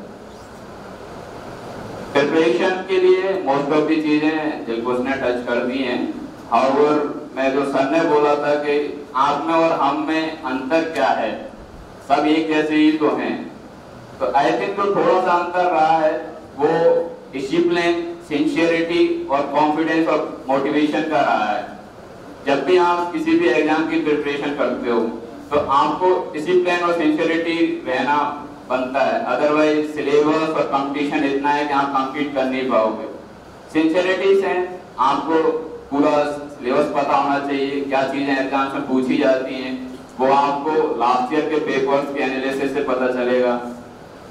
अगर आपको चीज़ें पता ही नहीं होंगी एग्ज़ाम्स की एक्चुअल डिमांड क्या है? तो आप यूपीएससी वेदर आरपीएससी या कोई भी एग्ज़ाम देते हो उसमें आप चीज़ों को पढ़ रहे हो बट जो चीज़ एग्ज़ाम में नहीं आएगी, फिर आपके मार्क्स नहीं आएँगे। आपको लगेगा, यार, पढ़ा तो बहुत बट मेरा फाइनल सिलेक्शन नहीं हो रहा है। तो लास्ट ईयर के पेपर के एनालिसिस बहुत मस्त है। उसके साथ साथ टेस्ट सीरीज़ ज़रूर अटेम्प्ट करो। जब उसने भी वो टच किया था। चाहे कोई सी भी एग्ज़ाम हो वेदर आप एसएससी दे लो या even teacher and blah blah उसमें टेस्ट सीरीज़ लगाने से आपकी एक स्ट्रेटेजी सेट हो जाएगी। कितने टाइम में मैं कितना क्वेश्चन अटेम्प्ट करूँगा तो पेपर कंप्लीट हो जाएगा। आंसर राइटिंग प्रैक्टिस से कॉन्फिडेंस आता है। जस्ट टू दी पॉइंट बात होती है। आप अगर टेस्ट सीरीज़ लिख रहे हो, कुछ क्वेश्चन पढ़ते हो, नहीं आता है तो आपको वो पता चलता है कि ये टॉपिक में मुझे नहीं आता है। बार बार नोट्स रिवाइज करने का कोई सेंस नहीं होता है। आपने दो तीन बार नोट्स पढ़ लिए, उसके बाद दोबारा रिपीट करोगे तो सेम चीज़ दोबारा पढ़ोगे। आपको वो चीज़ पता ही नहीं चलेगा कि यार मुझे आता क्या नहीं है। तो आप टेस्ट सीरीज़ लगाओ। लास्ट ईयर के पेपर्स देखो और एक डिटेल सिलेबस देखो यूपीएससी में अगर आप देते हो या आरएस देते हो तो उसमें मेंस में पूरा डिटेल सिलेबस लिखा होता है साइट से डाउनलोड करो। एक एक वर्डिंग को देखो, उन्हीं पर क्वेश्चंस फ्रेम होते हैं। सेकंड थिंग जो डिफरेंस था, वो कॉन्फिडेंस और मोटिवेशन का था। आई थिंक अगर आप में कॉन्फिडेंस है तो 50 परसेंट प्रिपरेशन आपकी हो चुकी होती है। आपको आपकी थिंकिंग होनी चाहिए कि यार लाइक मुझे आईएएस बनना है तो मैं मतलब ये लोग बन सकते हैं तो मैं क्यों नहीं बन सकता? आईएएस बनने के लिए अगला जन्म तो नहीं लोगे। चाहे कोई सी भी आप ड्रीम सबसे बड़े रखो। जैसे आप अगर सपोज़ एलडीसी के एग्ज़ाम देते हो या कोई टीचर के एग्ज़ाम देते हो ये तो है नहीं कि अपने से मैं तो कम पढ़ूँगा तो मैं छोटी एग्ज़ाम लिख रहा हूँ। अपनी साइड से हंड्रेड परसेंट देते हो तो ड्रीम बड़ा रखो। सपोज़ वो आईएएस हो या आरएएस हो, कोई भी एडमिनिस्ट्रेशन पोस्ट काफ़ी सही होती है। उसको अचीव करने के लिए अपना हंड्रेड परसेंट दो। उसको आप रिग्रेट ना हो बाद में कि यार मैं ये कर लेता तो मेरा हो जाता। और प्रोसेस को एंजॉय करो rather than making it boring enjoy sense ये प्रिपरेशन एक ग्रेजुअल लर्निंग होती है। आप हर रोज कुछ नया सीखते हो, अपने दोस्तों के साथ डिस्कशन करते हो। ये मतलब कि यार आज तो पढ़ना भी है मुझे। उसको इतना बनाओ कि ठीक है, आज कुछ नया सीखने को मिलेगा।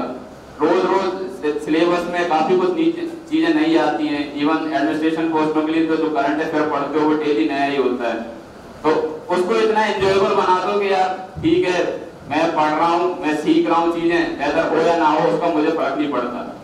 और चीज़ों रिज़ल्ट के बारे में ज़्यादा मत सोचो। रिज़ल्ट तो डेफिनेटली अच्छा आता है जब आप मेहनत करते हो तो। और जो चीज़ बहुत आगे की उसमें क्या ही सोचना प्रेजेंट में पढ़ो, आप एक डेली शेड्यूल बनाओ।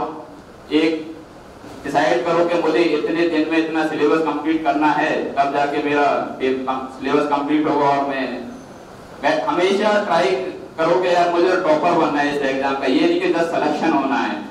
ओनली सिलेक्शन के लिए टॉप कब करोगे? टॉपर कोई अलग से तो होगा नहीं। आप में से होगा। और आई थिंक यूपीएससी और आरपीएससी की तो खासियत है कि किसी को नहीं पता होता कब कौन सेलेक्ट होने वाला, कब टॉपर होने वाला है।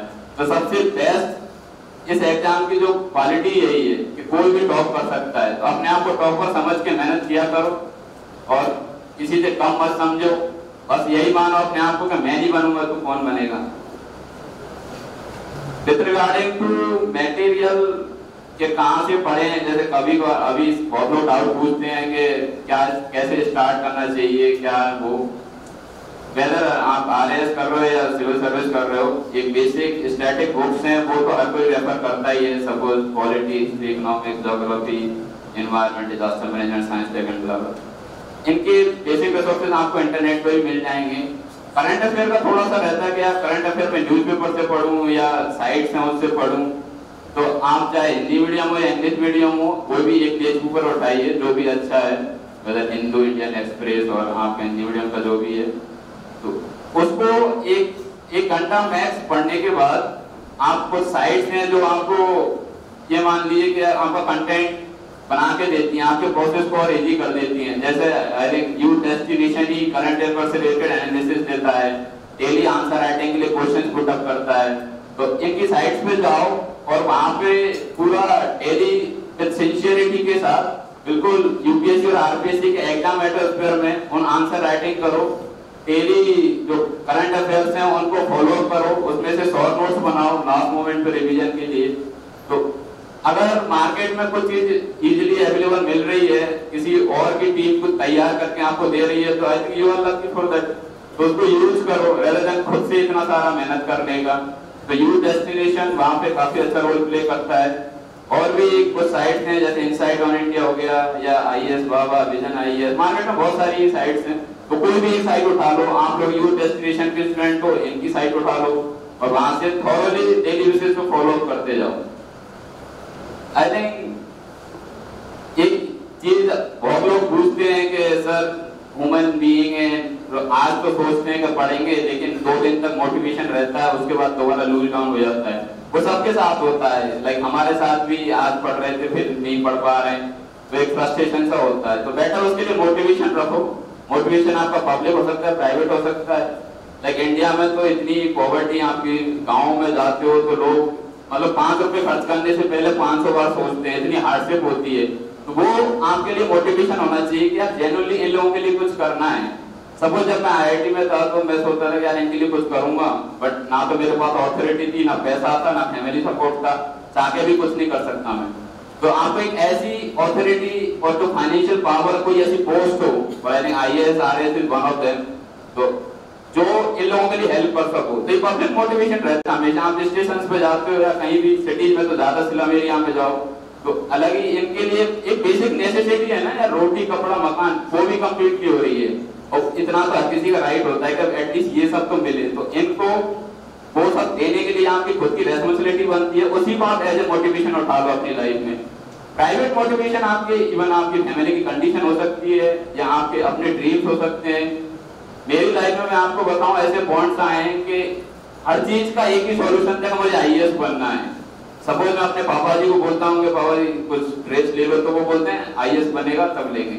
मतलब हर चीज़ का एक ही वो कि आईएएस बनो आईएएस बनो। तो इस टाइप से ले लो जैसे सर ने भी बोला था कि आपको हर मोमेंट में आपका आईएएस दिखना चाहिए या आरएएस दिखना चाहिए, जो भी आपका टारगेट है। तो उस टारगेट को मोटिवेशन इतना हाई रखो कि अगर आपको सपोज़ अनलकीली सक्सेस नहीं भी मिलती हो तो उससे कोई फ़र्क नहीं पड़ता है। क्यों? अनसर्टेनिटी इतनी ज़्यादा है इन सिविल सर्विस में और आरएएस में कि समवेयर कभी कभार नेगेटिव हो जाते हैं। बट हमेशा ऑप्टिमिस्टिक रहो पॉजिटिव रहो सक्सेस तो मिलेगी और आई थिंक जो अपने फॉर्मर प्रेसिडेंट हैं मिस्टर एपीजे अब्दुल कलाम उन्होंने बोला भी है कि ऐसी ज़िंदगी क्या जीना जिसमें कठिनाई ना हो। आपको एक एग्जांपल देता हूँ रोज रोज मीठा खाना खाओगे आप खा भी नहीं सकते थोड़ा सा टेस्ट नहीं लगता है। ऐसी अगर कोई लाइफ ऐसी है जिसमें आपको कोई प्रॉब्लम नहीं है, कोई हार्डशिप नहीं है तो उस लाइफ को जीने में मज़ा नहीं है। तो take it in a positive way या ठीक है हार्डशिप सबकी लाइफ में होती है, मेरे भी यहाँ कोई बिग डील नहीं है। तो पढ़ाई करो, समझे कभी कभार टेस्ट सीरीज़ में कम नंबर आएँगे। तो लगेगा, यार, मेरे से नहीं होगा। पर ठीक है, उसको ऐसे ग्रेजुएट लर्निंग लो, जितनी मिस्टेक्स हुई है, उनसे सीखो और आगे। लॉन्ग टर्म में थोड़े ग्रेजुअल वे में स्कोर अपने आप इंप्रूव हो जाता है। एक दिन का प्रोसेस नहीं होता है वन एंड हाफ़ इयर्स लग जाते हैं एक अटेम्प्ट में। तो बी कॉन्फिडेंट अपना मोटो हमेशा याद रखो कि किस चीज़ के लिए तुम तो इस सर्विस में आना चाह रहे हो। और ड्रीम्स हमेशा चेंज होते हैं, जैसे सपोज़ मैं पहले टेंथ में था तब ड्रीम था कि ओनली आईआईटी में आना है। उसके बाद जब आईआईटी में था तो ड्रीम था कि यार आईएएस निकालना है। जब आईएएस में अब हो गया तो ड्रीम है कि सम पीएम एक्सीलेंसी अवार्ड या रोमन मैक्सिस या फर्दर आगे जाऊँ। तो अपना टारगेट डिसाइड रखो और उसकी स्ट्रेटेजी जानो। सपने कभी भी छोटे मत देखो, सबसे बड़े सपने देखो। बट उस सपने को पाने का रास्ता आपको पता होना चाहिए। उसको अचीव करने का वे क्या है, कैसे करना है स्ट्रेटेजी गाइडेंस सब कुछ पता होना चाहिए। बस यही दिल में आग रखो कि यार, मुझे तो आईएएस निकालना है और एक अटेम्प्ट में निकालना है कि कब तक पढ़ोगे? पूरी लाइफ कोई नहीं पढ़ता है। तो जितना जल्दी हो सके उसमें निकालो with confident with regarding to guidance हम यहाँ पे आए हुए हैं तो आप फील फ्री टू कॉन्टेक्ट ऐसे नहीं कि यार, थोड़ा सा एजुटेशन है, पता नहीं बता पाएगा कि नहीं। जेन्यू डाउट होता हम सब लोग हेल्प करते हैं लिटरली और हमें भी, हमारे सीनियरों से हेल्प मिली है। तो जितना भी हो सके सोशल मीडिया व्हाट्सएप और जो भी आपकी स्ट्रेटेजी होती है, उसके थ्रू कांटेक्ट करो और गाइडेंस पाओ। In the last youth destination को मैं थैंक यू बोलना चाहूँगा कि सब हमको ये मौका मिला इंटरेक्शन का। क्योंकि जब मैं as an aspirant first attempt लिख रहा था तो मेरे पास इतना गाइडेंस नहीं था सीरियसली क्यों? मेरी फैमिली में सिविल सर्विस में पहले से कोई नहीं है। सीनियर्स कॉलेज के रहते हैं बट वही एजुटेशन होता है क्या क्या सोचेगा? मेरा क्वेश्चन थोड़ा सा ऐसे ही है। तो बस अपने से प्रिपरेशन करते रहते हैं। तो बेटर है, आप बहुत लकी हो कि आप भी कोचिंग इतना प्लेटफॉर्म मीडियम प्रोवाइड कर रही है लोगों से इंटरेक्शन करने का। तो आपको उसका फुल बेनिफिट उठाओ। और give your hundred percent obviously success मिलेगी। मैं आप सबको लाइक मैं इवन ये मान लो कि आपको एक ऑर्डर दे रहा हूँ आपको मसूरी आना ही है आई एस बनकर मेरा जूनियर बनना ही है। तो आप बनिए अपना टारगेट अचीव कीजिए और मेरी विश भी कंप्लीट कीजिए। थैंक यू सो मच अभी आगे हाँ। सर क्या इन एग्ज़ाम को बिना कोचिंग क्रैक कर सकते हैं डेफिनेटली अगर देखो आप हर चीज़ का एक प्रो और कॉन्स होता है ऐसी कोचिंग के प्रो कॉन्स हैं। ये बिना कोचिंग के इजीली सेलेक्ट हो सकते हो बट अगर आप कोचिंग लेते हो तो एक आपको गाइडलाइन मिल जाता है। एक टाइम और मैनर मिल जाता है। जो आप कोचिंग में पढ़ाते हैं वो आप घर पे जाके पढ़ते हो। एक डिसिप्लिन और सिंसियरिटी आ जाती है। कोचिंग से आपको गाइडेंस मिलता है। आज आप अगर इस कोचिंग में नहीं होंगे तो आपको इंटरेक्शन का मौका नहीं मिलेगा। तो वो बहुत ज़रूरी होता है। हाँ आप बिना कोचिंग के कर सकते हो। नॉट ए बिग डील कोई भी चीज़ मुश्किल नहीं है। बट अगर कोचिंग और होती है तो आपके प्रोसेस को और इजी बना देती है। That's it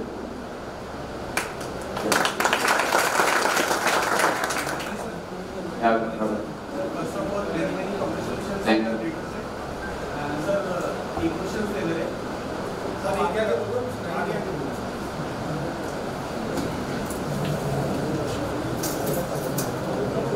Uh, you can ask like recording. Sir तीन क्वेश्चंस ले रहे हैं सर एक प्रीलिम्स प्लस मेंस की स्ट्रेटजी क्या होनी चाहिए सर जैसे स्टार्टिंग में आपने बताया कि ऐसे राइटिंग का स्टार्टिंग से होना चाहिए सर प्रीलिम्स में कुछ पढ़ा नहीं तो स्टार्टिंग में ऐसे राइटिंग कैसे कर सकते हैं सी प्रीलिम्स के पर्सपेक्टिव से ऑब्जेक्टिव होता है चाहे आईएएस हो या सिविल सर्विस हो, आप टेस्ट सीरीज़ लगाओ। टेस्ट सीरीज़ में आप जब क्वेश्चंस लगाओगे तो बहुत सारी चीज़ें ऐसी पता चलेंगी, यार, ये तो मुझे पता ही नहीं था। इवन सिलेबस में बहुत सारी चीज़ मेंशन ऐसी है जो बुक्स में नहीं है। वो आपको टेस्ट सीरीज़ के थ्रू पता चलती है। तो कोई भी टेस्ट कोई कोचिंग हो, जैसे यू डेस्टिनेशन हो गई या कोई भी मार्केट में जो अच्छी टेस्ट सीरीज़ निकालती है, उनको लगाओ। और एक बार बेसिक सिलेबस से पहले चले जाओ, ताकि टेस्ट सीरीज़ अच्छे से स्कोर कर सको कॉन्फिडेंस हाँ एनसीईआरटी है या बेसिक जो स्टैंडर्ड बुक्स हैं, वो तो आपको नेट पे ही मिल जाएँगे क्वालिटी और मेंस की प्रिपरेशन के लिए आंसर राइटिंग में शुरुआत में आपको कंटेंट नहीं होता आपके पास बट जितना पता उतना लिखो। सपोज़ एग्जांपल आज एम्पावरमेंट की बात करें तो आपको डिफरेंट डिफरेंट में एक थॉट यार को मैं सोशली कैसे एम्पावर कर सकता हूँ economy politically by technical by sports by some other field participation तो अगर आप एक थॉट लोगे तो आपको एक कॉन्फिडेंस आएगा कि यार वुमेन एम्पावरमेंट का मुझे इतना पता है। और एक कुछ फैक्ट्स देख लो किसी भी इंडेक्सेस या रिपोर्ट के कि इंडिया में वुमेन्स लिटरेसी कितना है पॉलिटिकल पार्टिसिपेशन कितना है, क्या प्रोविजंस हैं। तो एक उससे सेल्फ कॉन्फिडेंस आता है इस टॉपिक पर मुझे इतना पता है कि कोई भी क्वेश्चन आएगा तो मैं लिख लूँगा। हाँ लेकिन ज़्यादातर स्टूडेंट्स का क्या होता है, एक थॉट ऑफ़ ले लेते हैं, उसको लिखते नहीं है। एक बार दो पेज लिख के तो देखो आप। एक अलग कॉन्फिडेंस आता है ना, वो मैं इवन एक्सप्रेस भी नहीं कर सकता। तो डे वन से आप लिखना स्टार्ट करो। जितना भी आता है, कोई फ़र्क नहीं पड़ता, कोई कॉपी नहीं चेक करने वाला। और चेक करने वाला भी तो क्या? फाइनल रिज़ल्ट से मतलब होता है। ऐसे ही कई बार बहुत ज़्यादा कम नंबर आते हैं। कोई फ़र्क नहीं पड़ता। Take it it as a gradual learning process जितनी ज़्यादा मिस्टेक्स होती है, उतना ज़्यादा सीखने को मिलता है। तो हर चीज़ पे ऑप्टिमिस्टिक और पॉजिटिव लो तो ज़्यादा सही सर करंट को स्टडी पार्ट से कैसे लेट करें?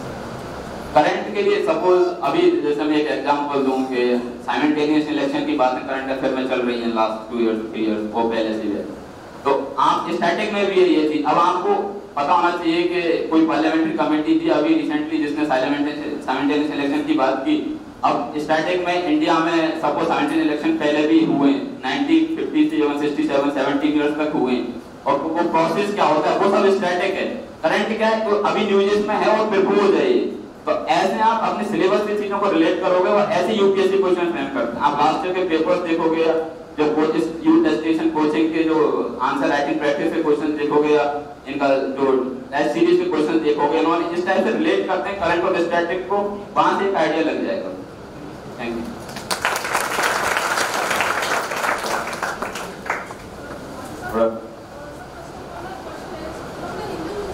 Yeah.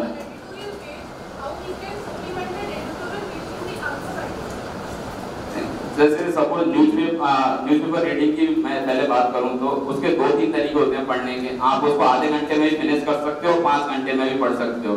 आधे घंटे में डायरेक्ट लिंकिंग पढ़ो और ठीक है, खत्म हो गया। बट उसका कोई सेंस नहीं होगा, क्यों? आपको यही नहीं पता यूपीएससी किस टाइप से क्वेश्चन फ्रेम करेगा उस पर तो आप न्यूज़पेपर को एक इश्यू होता है, एक टॉपिक है, कोई दो आई थिंक एक वीक दो वीक तक चलती रहती है। उस टॉपिक को उठाओ। फिर आप सिलेबस में देखो एक्चुअल में आपके सिलेबस में क्या है?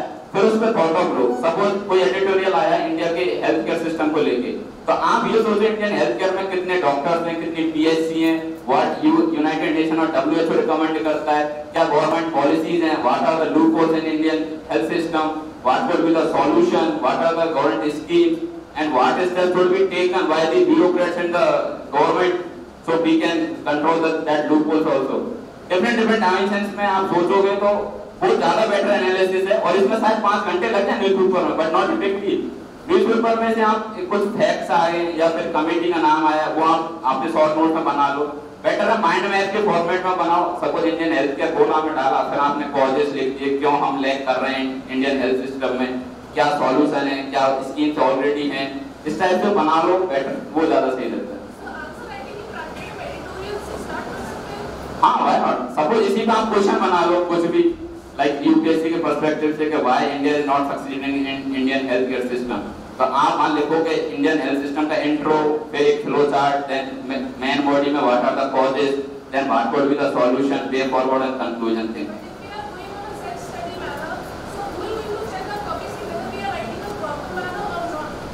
that, i think youth destination is the best platform. आप इनकी साइट पे जाइए, उनके आंसर क्वेश्चंस के जो सेट जो ब्लॉग है उसको उठाइए। वहीं से आप क्वेश्चन चूज़ कर सकते हो।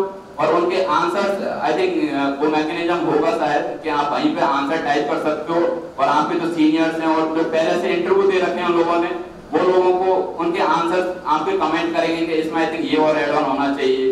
या फिर आप इन कोचिंग्स के मॉडल आंसर जो टेस्ट सीरीज़ में मॉडल आंसर्स भी देते होंगे, वो वहाँ से कंपेयर कर सकते हो।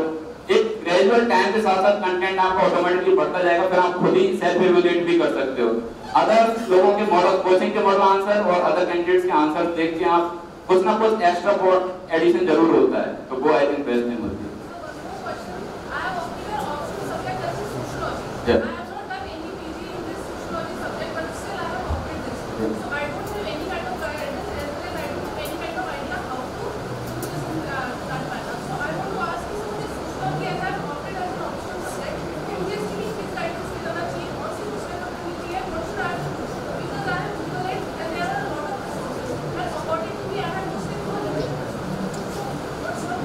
Well, like my optional is civil engineering BTech from civil and uh, Vikas optional is sociology so he will elaborate more on sociology. But एक basic things है आप sociology का syllabus जाओ और एक बेसिक बुक्स हैं वो गो थ्रू होने के बाद लास्ट ईयर के पेपर और टेस्ट सीरीज़ के थ्रू जाओ वेदर आपका बैकग्राउंड है कि नहीं ज़्यादा फ़र्क नहीं पड़ता है। सोशोलॉजी मोस्ट ऑफ़ दी चीज़ें आपको पता होती हैं। जैसे विकास का भी बीटेक है आईआईटी कानपुर से बट इसने सोशोलॉजी किया। वैसे बहुत सारे और भी फ्रेंड हैं। तो उससे फ़र्क नहीं पड़ता आप कॉन्फिडेंस रखो बेसिक सिलेबस देखो लास्ट ईयर के पेपर्स देखो टेस्ट सीरीज़ के क्वेश्चंस देखो आपको खुद से एनालाइज आइडिया हो जाएगा।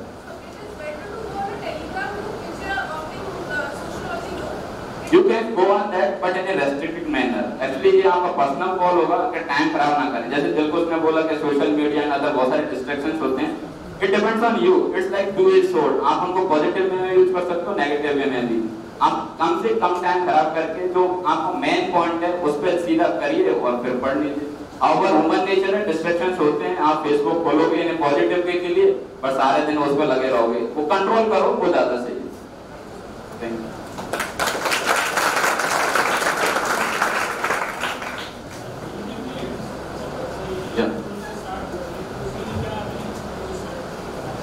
आई थिंक uh, मैं आपको सच बताऊँ तो एक पढ़ने की कोई ऐसी एग्ज़ाम नहीं है कि अगर आप सोच लो डिटरमाइन कर लो तो एक साल में नहीं निकले।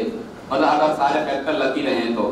तो आप ऑब्वियसली मैं आपकी रेस्पॉन्सिबिलिटी समझता हूँ मैरिड हैं एंड बहुत सारे अदर बर्डन होते हैं। बट एक साल की बात होती है, आप कहीं ना कहीं कॉम्प्रोमाइज कर सकते हो। आई थिंक हर किसी की फैमिली एक साल के लिए कॉम्प्रोमाइज कर लेती है वेदर फाइनेंशियल और हाउस होल्ड रेस्पॉन्सिबिलिटी तो गिव योर हंड्रेड परसेंट आप जॉब में हैं अभी? ओके ओके ओके अभी किस क्लास में? इलेवेंथ तो देन आई थिंक इनको शुरुआत जो स्टैटिक सिलेबस है, वहाँ से कर देना चाहिए। एनसीईआरटी हो गई। अब एनसीईआरटी मैं ये सजेस्ट नहीं करता कि सिक्स टू ट्वेल्थ तक सारी सब्जेक्ट एनसीईआरटी पढ़ लो। एक आप, जैसे कुछ कुछ सब्जेक्ट में एनसीईआरटी अच्छी, जैसे ज्योग्राफी आप एनसीईआरटी पढ़ सकते हो। फ़िज़िकल ज्योग्राफी हो गई और even Indian geography world geography but जैसे पॉलिटी है पॉलिटी के लिए काफ़ी स्टैंडर्ड बुक्स हैं। जैसे मार्केट में लक्ष्मीकांत चलती है इंग्लिश मीडियम में चलती है हिंदी का भी चलती होगी आई तो वो बहुत सही रिसोर्सेज है।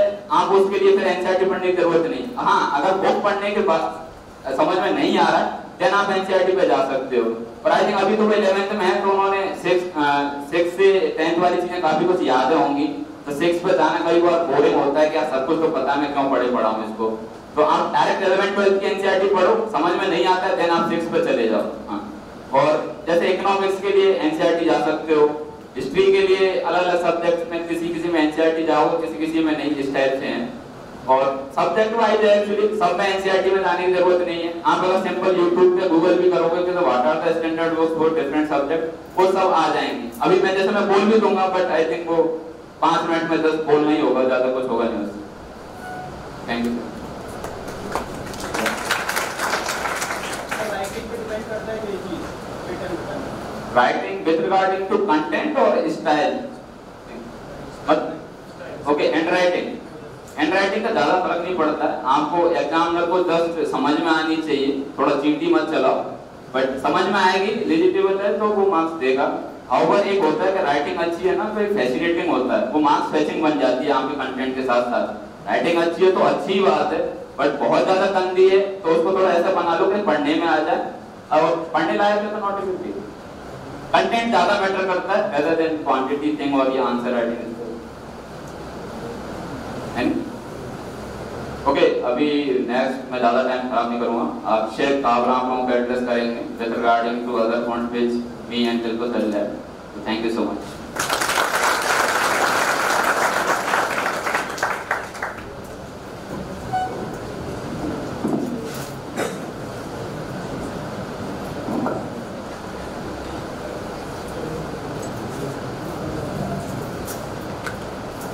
hello hi friends first of all तो मैं यूथ डेस्टिनेशन को और सुमित सर को मैं करना चाहूँगा ताकि उन्होंने मुझे एक अपॉर्चुनिटी दी आप लोगों से इंटरेक्ट करने का My brief intro is like uh, I'm Akshay Kabra and my hometown is Jaipur, Rajasthan only. मैंने मेरा फर्स्टली कॉमर्स ग्रेजुएशन के साथ एलएलबी करने के एलएलबी करा और एलएलबी के साथ मैंने अपना चार्टर्ड अकाउंटेंसी कोर्स कंप्लीट किया बट सीए करते करते मेरे मन में एक ख्याल आया कि जब मैं अपना ट्रेनिंग कर रहा था duration of duration of CA जब मैं अपना चार्टर्ड अकाउंटेंसी कोर्स कर रहा था अपनी इंटर्नशिप कर रहा था तो रेगुलर वे पे मुझे इनकम टैक्स डिपार्टमेंट में भी विज़िट करना पड़ रहा पड़, पड़ता था ताकि डील करना पड़ता था वहाँ पे जाकर अपने बॉस के साथ। So in that very manner मेरे मन में एक विचार आया क्यों ना मेरे जो इनपुट्स हैं और जो मेरे, मैंने जो एक सीए प्रोफेशन के अंदर अटेन करे हैं with regard to accountancy taxation क्यों ना जाके उस चीज़ों को मैं जाके अपना प्रशासन के अंदर, उस इनपुट्स को आउटपुट्स के अंदर कन्वर्ट करूँ? एंड जनरली हम लोग सोचते हैं कि प्रशासन में ये कमी है, प्रशासन के अंदर ये सही नहीं है ऑफिसर्स ऐसे हैं बट यूजुअली हम उस चीज़ के लिए कुछ नहीं करते कि although we are from different background professional background तो क्यों ना हम ही उस प्रशासन में जाके उसका हिस्सा बने और उसको सही करने की कोशिश करें। तो ये माइंडसेट के साथ मैंने आफ्टर सीए जब मेरा कॉमर्स जब मैंने अपना सीए डिग्री को पहले कंप्लीट किया एंड उसके बाद मैंने जाके इसके अंदर अपना यूपीएससी की प्रिपरेशन करी without doing any job and definitely यहाँ पे आके सक्सेस हुआ अब now be I got rank 207 this year और होपफुली मुझे Indian revenue services income tax के अंदर एलोकेशन हो जाएगा सो डेफिनेटली मैं कहना चाहूँगा कि with regard to your journey because uh, UPSC या RPSC या any competitive exam is just not an exam. This is your journey and in, in this journey there are very low points भी आएँगे आपके ऊपर और उसके ऊपर आपको बहुत टाइम ऐसा लगेगा कि whether we are going into the right direction or नहीं कि क्या हम सही पढ़ाई कर रहे हैं या नहीं कर रहे हैं, क्या बनेंगे या नहीं बनेंगे। इवन जो सर ने कहा, यहाँ से यहाँ की journey it's very small part और बहुत छोटा डिस्टेंस है कवर करने का। बट इसके अंदर हर्डल्स इतने ज़्यादा हैं, चाहे रिलेटिवली आप देखेंगे फ्रॉम योर रिलेटिव साइड्स और विद योर पीयर ग्रुप क्योंकि जब मैं एक CA as a chartered accountant जब इस फ़ील्ड में आने चाह रहा था तो लोगों ने मेरे को कहा कि दे सेड कि there because there so many stereotypes है मार्केट में कि नहीं, तुम कॉमर्स वाले हो you can not go into this field तुमसे कैसे संभलेगा ज्योग्राफी हिस्ट्री पॉलिटिकल साइंस या फिर रिलेटिव्स ने कहा कि why should you not opt for a job job क्यों नहीं कर रहे हो? सीए बनने के बाद इतनी अच्छी जॉब मिल रही है, क्यों इसके अंदर आ रहे हो? क्यों अपना टाइम वेस्ट कर रहे हो?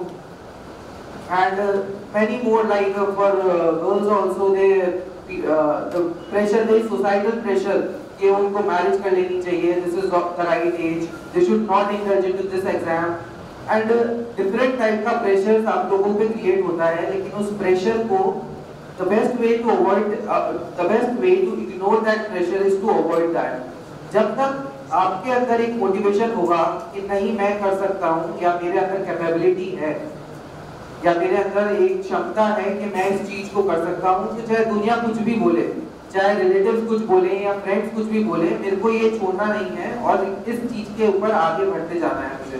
तो डेफिनेटली मैंने भी ये सब चीज़ें इग्नोर करते रहा और आदमी हमेशा आदमी की सफलता बोलनी चाहिए, उसको लोगों को जवाब नहीं देना चाहिए इन सब चीज़ों के लिए। उनकी अगर सफल रहेंगे तो लोग अपने आप बोलने लग जाएँगे। जो रिलेटिव्स पहले आके बोलते थे कि नहीं, ये आई डाउट कि लड़का नहीं हो पाएगा। नाउ आज वो आते हैं घर पे तो वो बोलते हैं, नहीं, मैं जानता था, ये ज़रूर होगा। तो ये डेफिनेट है, अगर आप सफल होंगे तो लोग अपने आप बोलने लग जाएँगे तो प्लीज़ उन सब चीज़ों को इग्नोर करो और पढ़ाई में लग जाओ। अगर ट्रू डिटर्मिनेशन है सेल्फ मोटिवेशन है कि नहीं, मुझे करना है तो you can definitely crack it and उसके बाद मैं कहूँगा कि जनरली ये भी स्टीरियोटाइप रहता है कि मार्केट के अंदर कि 11 12 तक हमारी studies we are not the brilliant one we are not कि हमें 95 या 90 अबव परसेंटेज आ रही है. सोसाइटी भी प्रेशर होता है कि 12th के बाद आप पास हुए 70 परसेंट से एंड सोसाइटी आप बोल रहे हैं, ये बना के बैठे हैं कि नहीं, हम आईएएस आरएस करेंगे. तो सोसाइटी प्रेशर आ जाता है. अभी तो 70 परसेंट आई है, अब क्या आरएस आईएएस करेगा तू तो? इस सब चीज़ों से इट्स कि आपकी जो एकेडमिक से डिपेंड एकेडमिक डिपेंड करती है, लेकिन मानो आपने 11 12 सीरियसली नहीं लिया, पढ़ाई नहीं करी, लेकिन जब जब आप जाओगे तब सवेरा होगा। इट्स नॉट अभी सर ने भी कहा कि कैपेबिलिटीज किसी में भी कम नहीं है। इवन हमारे बैचमेट्स हैं, काफ़ी उनकी स्ट्रेटजीज है टॉपर स्टॉक है यूट्यूब पे। यू कैन सी दैट कि उनका एजुकेशन बैकग्राउंड है, जो 11 12 में इतना साउंड नहीं था। बट उन्होंने डेफिनेटली फ़र्स्ट अटेम्प्ट में सेकंड अटेम्प्ट में आके इसको क्रैक किया है। तो अपने आप को किसी भी लेवल पे कम मत समझो। फ़र्स्ट थिंग फ़र्स्ट ये देखो कि नहीं, अगर मेरे में डिटर्मिनेशन है, मुझे करना है। जनरली मेरी बात करूँ तो in my because commerce education रहते रहते, आपका जनरल नॉलेज की साइड में इतना ज़्यादा इंक्लिनेशन नहीं रहता है। तो डेफिनेटली जब मैंने स्टार्टिंग की तो मेरा भी कोई इंक्लिनेशन नहीं था।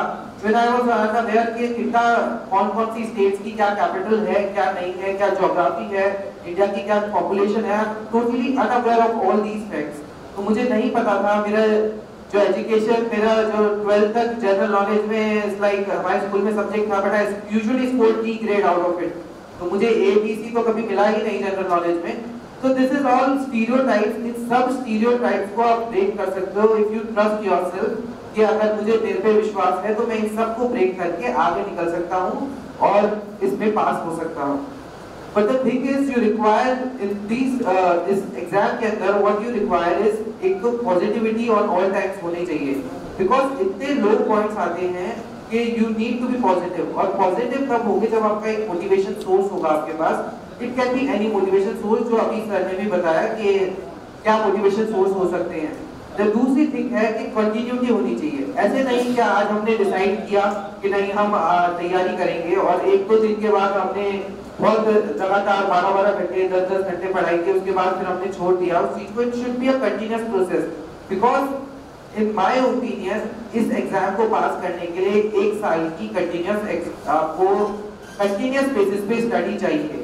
बिकॉज़ ये prelims this is not specific to केवल आपको प्रीलिम्स पास करना है। तो बिफोर प्रीलिम्स आप मेंस और प्री प्रीलिम्स के हिसाब से एजुकेट पूरा स्टडी करते हो। So you require at least one year continuous basis-based study. So first thing is your positivity, second your continuity, or third thing is your practice. Because अगर practice नहीं होगी, because at each level, चाहे वो prelims पास कर रहे हो, तो आपको एक sufficient amount में questions questions को practice करना पड़ेगा. Otherwise, अगर आप objective questions को practice नहीं करते हो, definitely केवल अपना स्टफ़ ही मैनेज करने में या कंटेंट गैदर करने के अंदर लग जाते हो नहीं अभी मेरी स्टडीज़ खत्म नहीं हुई अभी मेरा कोर्स खत्म नहीं हुआ मैं नहीं कर रहा हूँ अभी प्रैक्टिस थोड़े टाइम बाद में करूँगा उसको डिले करते हो प्रोसेस को तो you will not able to चाहे वो आरएएस को हो चाहे आईएएस को हो बिकॉज़ इट्स लाइक क्या हम कंटेंट कितना ही गैदर कर लें। जब तक हमने प्रैक्टिस नहीं करी होगी तो हम ऑब्जेक्टिव क्वेश्चंस को सॉल्व ही नहीं कर पाते। Because objective questions is nowadays you can see in RS और IS also कि directly नहीं है objective questions वो application based है। सो so, अगर आपने अपना ब्रेन स्टॉर्मिंग पहले से नहीं करी हुई है या फिर पहले से प्रैक्टिस नहीं करी हुई है सो एट दैट मोमेंट और सेम थिंग आल्सो कि अगर आप प्रैक्टिस करते हो तो एक जो एलिमिनेशन मेथड से आप क्वेश्चंस को सॉल्व कर सकते हो। तो वो जाके इफ़ेक्टिव हो जाता है। सिमिलरली फॉर मेंस आल्सो अगर आपने आंसर राइटिंग प्रैक्टिस नहीं करी है तो सफिशिएंट अमाउंट में तो you can not manage the paper same things जब मैंने अपना एग्ज़ाम दिया because of first attempt in the backdrop मैंने अपने मेंस की आंसर राइटिंग प्रैक्टिस इसी सफिशिएंट नंबर पे नहीं कर रखी थी। So it cost me attempt because generally I can't able to मेरे, मैंने पेपर मैनेज नहीं कर पाया मेंस के। In my first attempt and uh, उस टाइम मेरे पेपर्स में से हर एक पेपर में एक एक दो दो क्वेश्चन छूट गए बिकॉज़ इन बैकड्रॉप मेरी प्रैक्टिस प्रॉपर नहीं थी। So my second attempt what I done is कि मैंने सफिशिएंट अमाउंट में प्रैक्टिस की इंश्योर किया कि मेरा टाइम मैनेजमेंट हो मेरा पेपर और टाइम खत्म हो और uh, मैं अच्छे आउटपुट के साथ बेटर आंसर्स लिख पाऊँ। तो in second attempt I got through this and वो चीज़ इफ़ेक्ट करी।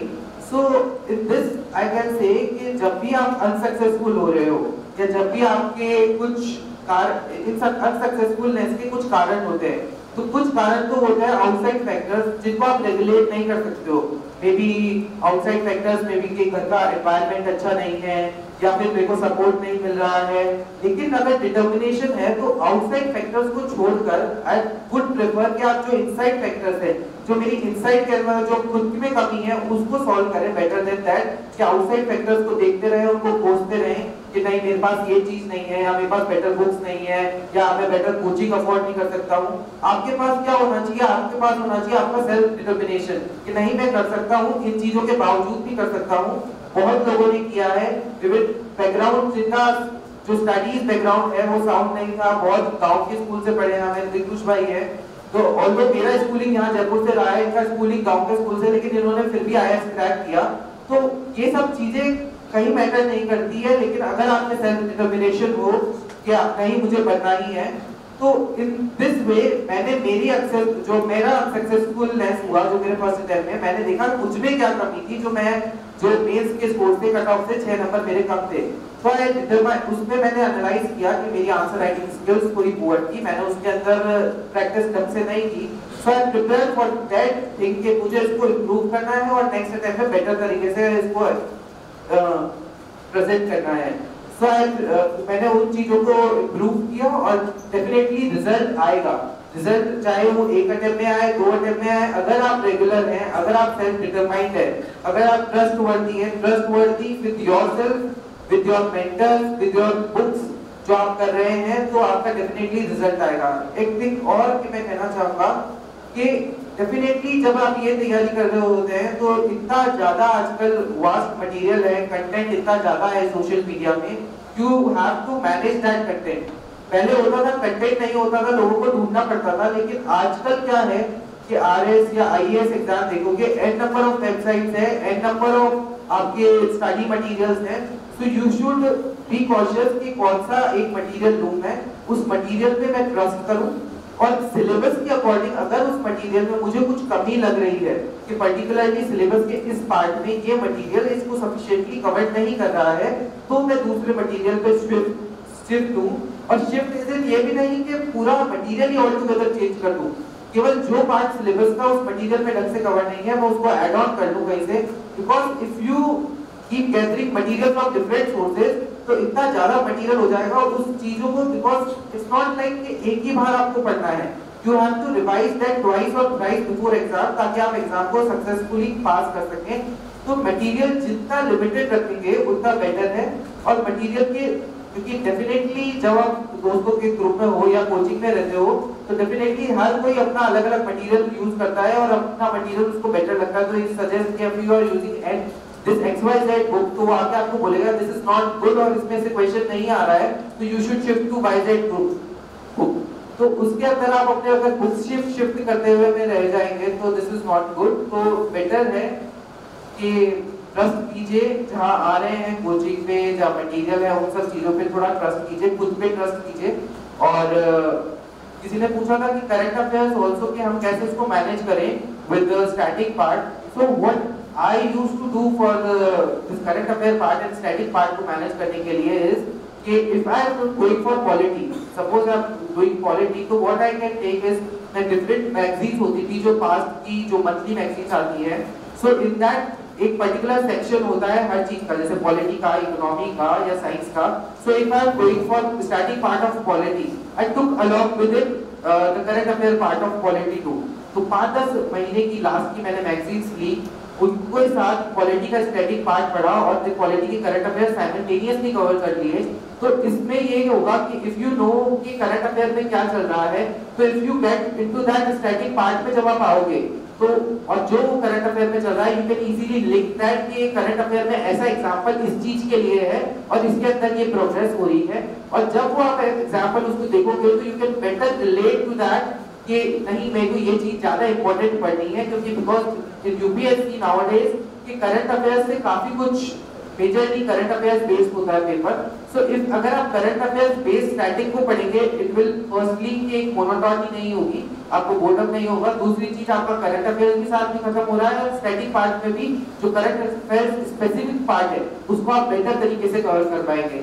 बिकॉज़ समटाइम लाइक के सिलेबस बहुत फास्ट है you cannot cover each and everything of the syllabus like uh, sometimes what is my strategy is like कि आप हर चीज़ में बिल्कुल एकदम 100% परफेक्ट नहीं हो सकते हैं because there should be two things there should be your core subjects कि जिसमें आप परफेक्ट हैं and there should be secondary subjects जिसमें आपको थोड़ा कम मैनेज है because it's not like कि आपको 100% स्कोर करना है या चाहे वो प्रीलिम्स हो चाहे मेंस हो चाहे इंटरव्यू हो इसके आपको एक बेसिक कट ऑफ़ लानी है तो वो कट ऑफ़ आप what I do is to manage that cutoff is कि जैसे particularly my core areas is economics or my interest area is polity. So I focus more or devoted more time on polity and economics rather than focusing and rather and for science and technical science and technology part जो मेरा थोड़ा week था तो I prepared less for it और उसमें मैंने current affair से deal किया, ज़्यादा उसके अंदर मैं इंटीरियर नहीं गया साइंस एंड टेक्नोलॉजी के ऊपर। रेदर देन मैंने सोचा कि कॉस्ट बेनिफिट एनालिसिस होना चाहिए कि टाइम बेनिफिट के मैं इतना टाइम अगर इसमें लगा रहा हूँ क्वालिटी के अंदर सो अगर मैं डबल इनपुट से पॉलिटी को ही पढ़ूं तो मेरा कोर एरिया है तो I can score much in polity rather than मैं साइंस एंड टेक्नोलॉजी में जो मुझे नहीं आ रहा है, फिर भी मैं उसमें बहुत टाइम डिवोट कर रहा हूँ। सो इट्स लाइक के first see which is your core areas, which is your best areas, you can prepare best for out of it. And another thing is, although कुछ चीज़ छोड़नी नहीं है, but uh, the which is your best area, prepare best out of it, and which is your like some areas which are not you are not कि इस area में मैं थोड़ा comfortable नहीं हूँ तो ऑल्दो उसका बेसिक जो सिलेबस है उसको हर चीज़ को कवर करो बट लेकिन अगर नहीं हो रहा है तो उतना टाइम आप दूसरी चीज़ लगा कर उसको इफ़ेक्टिव बना सकते हो so definitely after my experience I can say कि ये स्टीरियोटाइप्स तो नहीं है, अगर आपके मन में है, अभी तो डीमिस्टिफाई करें इन सबको कि आपका एजुकेशन बैकग्राउंड अगर बहुत साउंड नहीं है या आपका ये सब चीज़ें नहीं है तो आप नहीं बन सकते हो। डेफिनेटली हर कोई बन सकता है। अगर एक विल पावर हो, इच्छा शक्ति हो कि नहीं, मुझे बनना है और एक पॉजिटिव मोटिवेशन के साथ आप लेके चलोगे तो डेफिनेटली आप उसको क्रैक कर सकते हो। So thank you all for listening patiently 还有这个来自。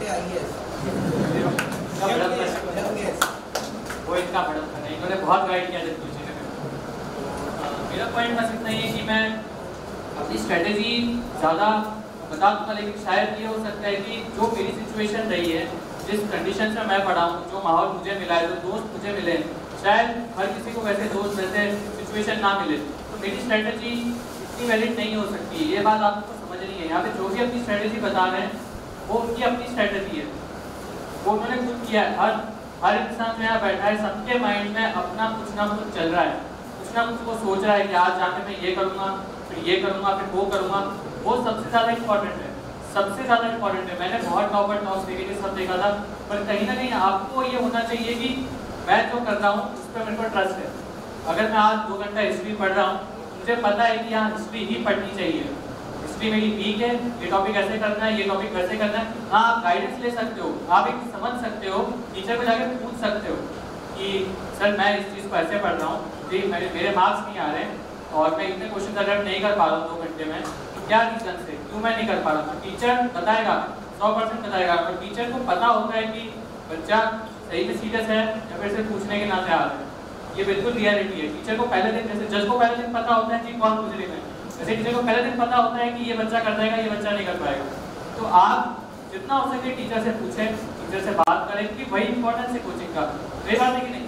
आप यहाँ आ रहे हो टीचर से अगर आप फ्रेंक नहीं हो टीचर से आप खुल के बात नहीं कर रहे हो सर मुझे ये प्रॉब्लम है, मुझे ये समझ नहीं आ रहा ये कैसे करना है। तो फिर कोई सेंस नहीं है कोचिंग का। फिर आप घर बैठ के ही कर सकते सब कुछ। ठीक है? तो ये सबसे पहला पॉइंट है।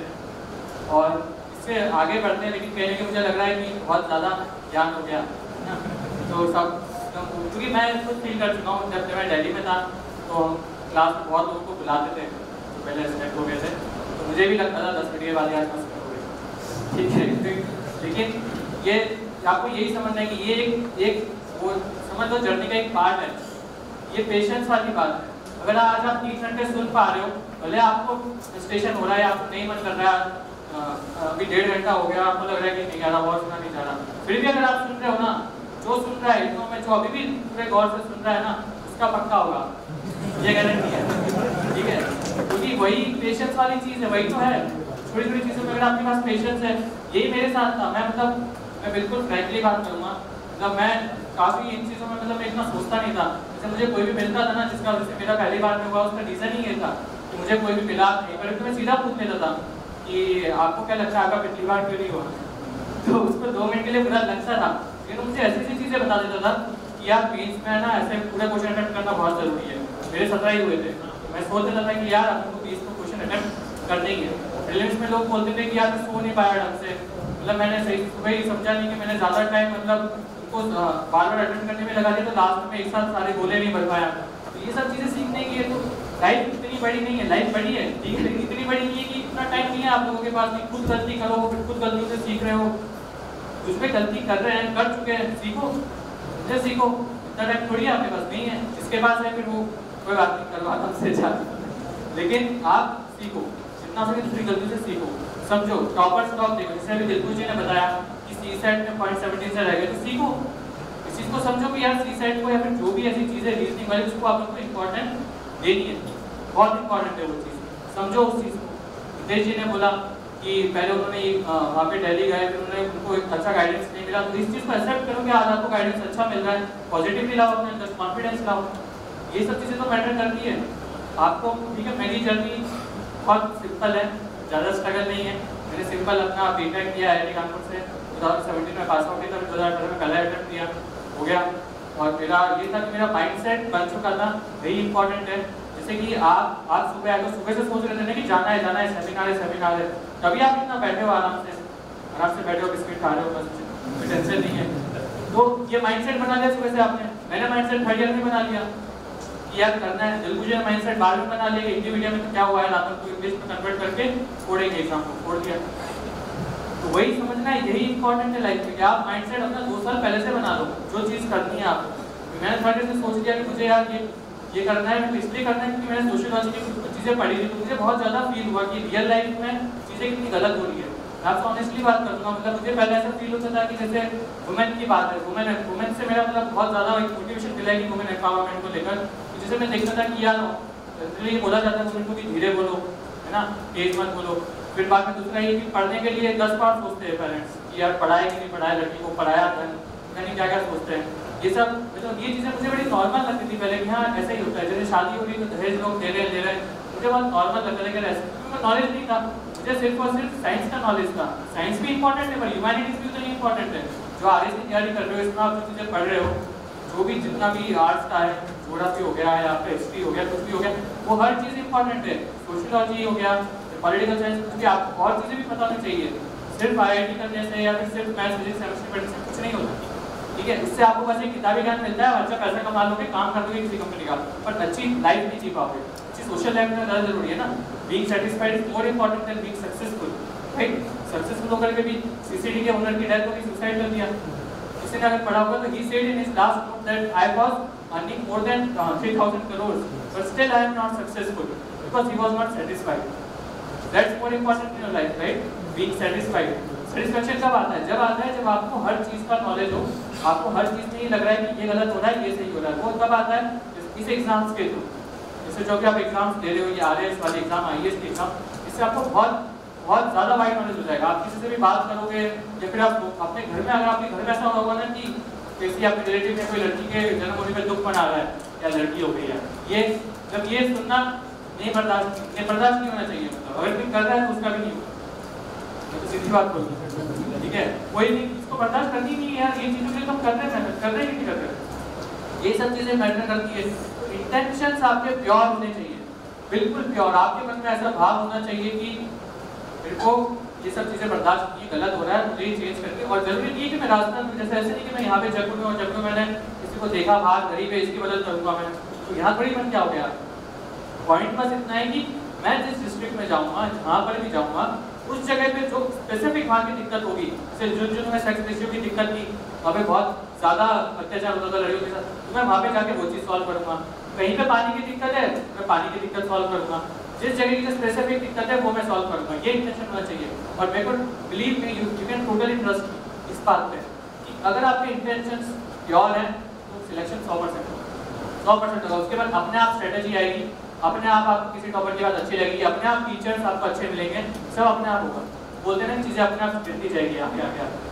अपने आप सब रास्ता खुलता जाएगा। अगर आपके अंदर इंटेंशन सही है ना कि मुझे करना है अब इंटेंशन क्या होता है जनरली अभी यहाँ पर भी बहुत सारे लोग मैंने ऐसे देखे लाइफ में, जिनको बनना है बनना है बनना है, लेकिन ये नहीं पता कि मतलब जो मैं कर रहा हूँ, उससे मैं नहीं बनूँगा।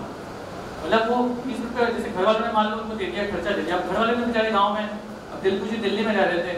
इन्होंने घर से बोला, मुझे पैसे चाहिए, दे दिए इनको। अब उनको थोड़ी पता कि दिलकुशी क्या कर रहे हैं। वो तो फ़ोन पे बोल रहे कि मैं पढ़ रहा हूँ, पढ़ रहा हूँ। आपको पता है ना? उसकी नज़र में तो मत गिरो दुनिया की नज़र में गिरने से कोई फ़र्क नहीं पड़ता। उसकी नज़र में गिर जाओगे तो कुछ नहीं बचेगा लाइफ मतलब जी नहीं पाओगे, खुद को खुद को कोसोगे। तो खुद की नज़रों में हमेशा ऊँचा रहना कैसे जाओगे? ये सोचोगे हज़ार रुपये मुझे दिए तो हज़ार रुपये में चलो, मैं आज मूवी देख के आ गया। मैंने केवल आज की सोची। मैंने सिर्फ़ ये सोचा कि हज़ार रुपये में मूवी देखी आज से पाँच साल बाद तो मेरी बीवी भी होगी, बच्चे भी होंगे। उनको दिखा दूँगा क्या हज़ार रुपये मूवी दिखा दोगे कि डिमांड फ्री कर दूँगा हज़ार रुपये में? कभी आपका आज मूवी में उड़ा दो पैसा तो आप तो तब भी हज़ार कमाओगे कमाओगे भी शायद। क्योंकि आपकी थिंकिंग ही ऐसी कि यार पैसा मिल रहा है, घूमो फिरो ऐश करो। तो ये चीज़ हमेशा समझो कि फ्यूचर की सोचो। जो मेरा पॉइंट था, तात्पर्य यही था फ्यूचर का सोचो। आज मुझे जो पैसा मिल रहा है, उसकी इंपॉर्टेंस बहुत ज़्यादा है। पैसा कैसे कमाया जाता है, वो आप कभी नहीं समझ सकते। मैं अभी तक नहीं समझा, मेरे को भी सैलरी मिल स्टार्ट नहीं ना मैंने खर्च किया है।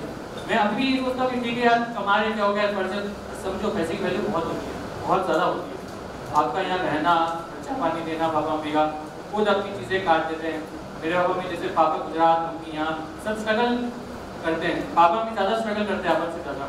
और फिर जब भी आपको डाउन फील हो ना तो हमेशा याद रखो कि कुछ कुछ लोगों को अपनी लाइफ में अपना आइडियल बना लो। जैसे मेरी लाइफ में बता रहा हूँ, मेरे रूम में मतलब मैंने चार पाँच पोस्टर्स लगा रखे थे। एक तो मैंने उसमें विराट कोहली का लगा रखा था। विराट कोहली है, बहुत लोग एज ए क्रिकेटर नहीं एज अ पर्सन बोल रहा हूँ मैं। एज अ उसका जो डेडिकेशन है, वो मैं बता रहा हूँ। ठीक है?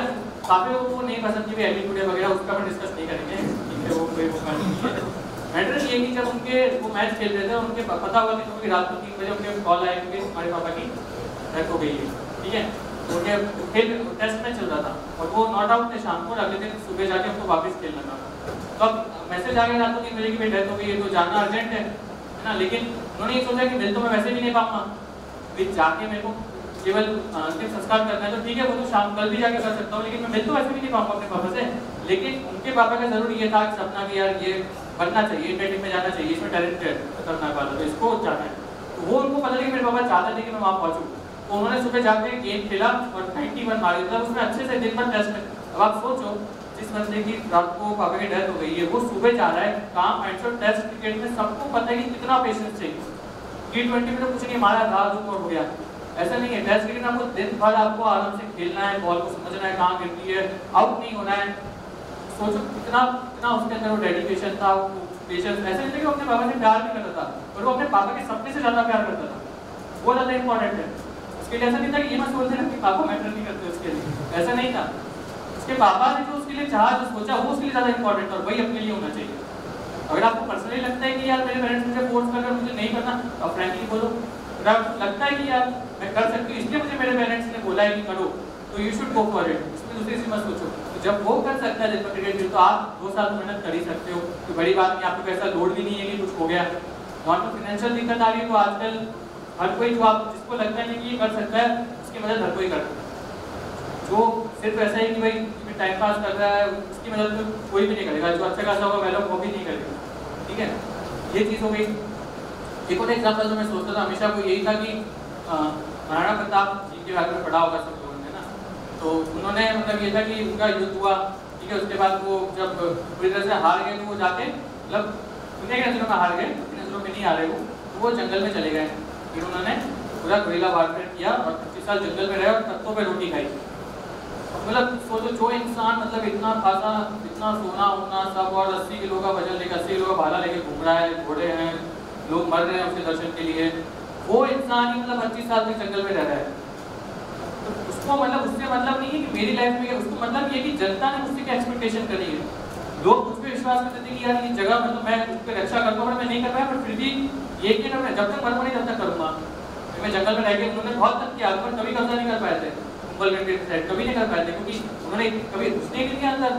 पहाड़ों पर कुछ घुस के कभी क्या फेंक रहे, कभी क्या फेंक रहे, कभी भाले फेंक रहे हैं गुरीला मार उसी को बोलते हैं। ये सब चीज़ें इससे सीखने का है यार, कि जब वो इंसान किस परिस्थिति में से किस परिस्थिति में रह सकता है और उसका मिशन सही है कि मुझे मतलब बचाना है, अपने अपनी जगह को सेफ़ रखना है तो वो कुछ भी कहीं भी रहेगा, वो करेगा। वो चीज़ दूसरी इंपॉर्टेंट है। लाइफ ठीक है? कि आपको अपनी सिचुएशन नहीं देखनी है। ये नहीं कि आप बीमार हो गए, बस। तो ये सोचना कि यार, वो तो जंगल में रहते हैं, बस, चल जाएगा बुखार। सही कह रहा हूँ मैं तो यही सोचता था हमेशा। रिलायंस के दिन में पूरी रात नहीं सो पाया। जब रात को साढ़े तीन बजे मम्मी ने वो, पता नहीं, मम्मी जी बहुत ज़्यादा धार्मिक थी तो है तो उन्होंने मतलब इतने सारे जंतर मंतर और उन्होंने बहुत लगाया मेरे को रात को कि सो जा मैं फिर भी नहीं सो पाया मैं डेढ़ दो घंटा सोया। तो मैं, मेरे को, तब मेरे को लगा कि यार मतलब उसको टेंशन हो रही थी यार, कि बंदा सोने का पेपर कैसे लिखेगा? तब ये तब मैंने सुबह मैं गया तो मैंने, मैं बिल्कुल झूठ नहीं कहा एकदम रियलिटी के मैं सुबह डेढ़ घंटा सो गया था बस और मेरे को बिल्कुल बड़ा क्योंकि मैं जल्दी उठ गया था। मतलब स्टाइल में होशियारी बोलते हैं ना कि सुबह जल्दी उठ जाते हैं कि रात को जल्दी निकला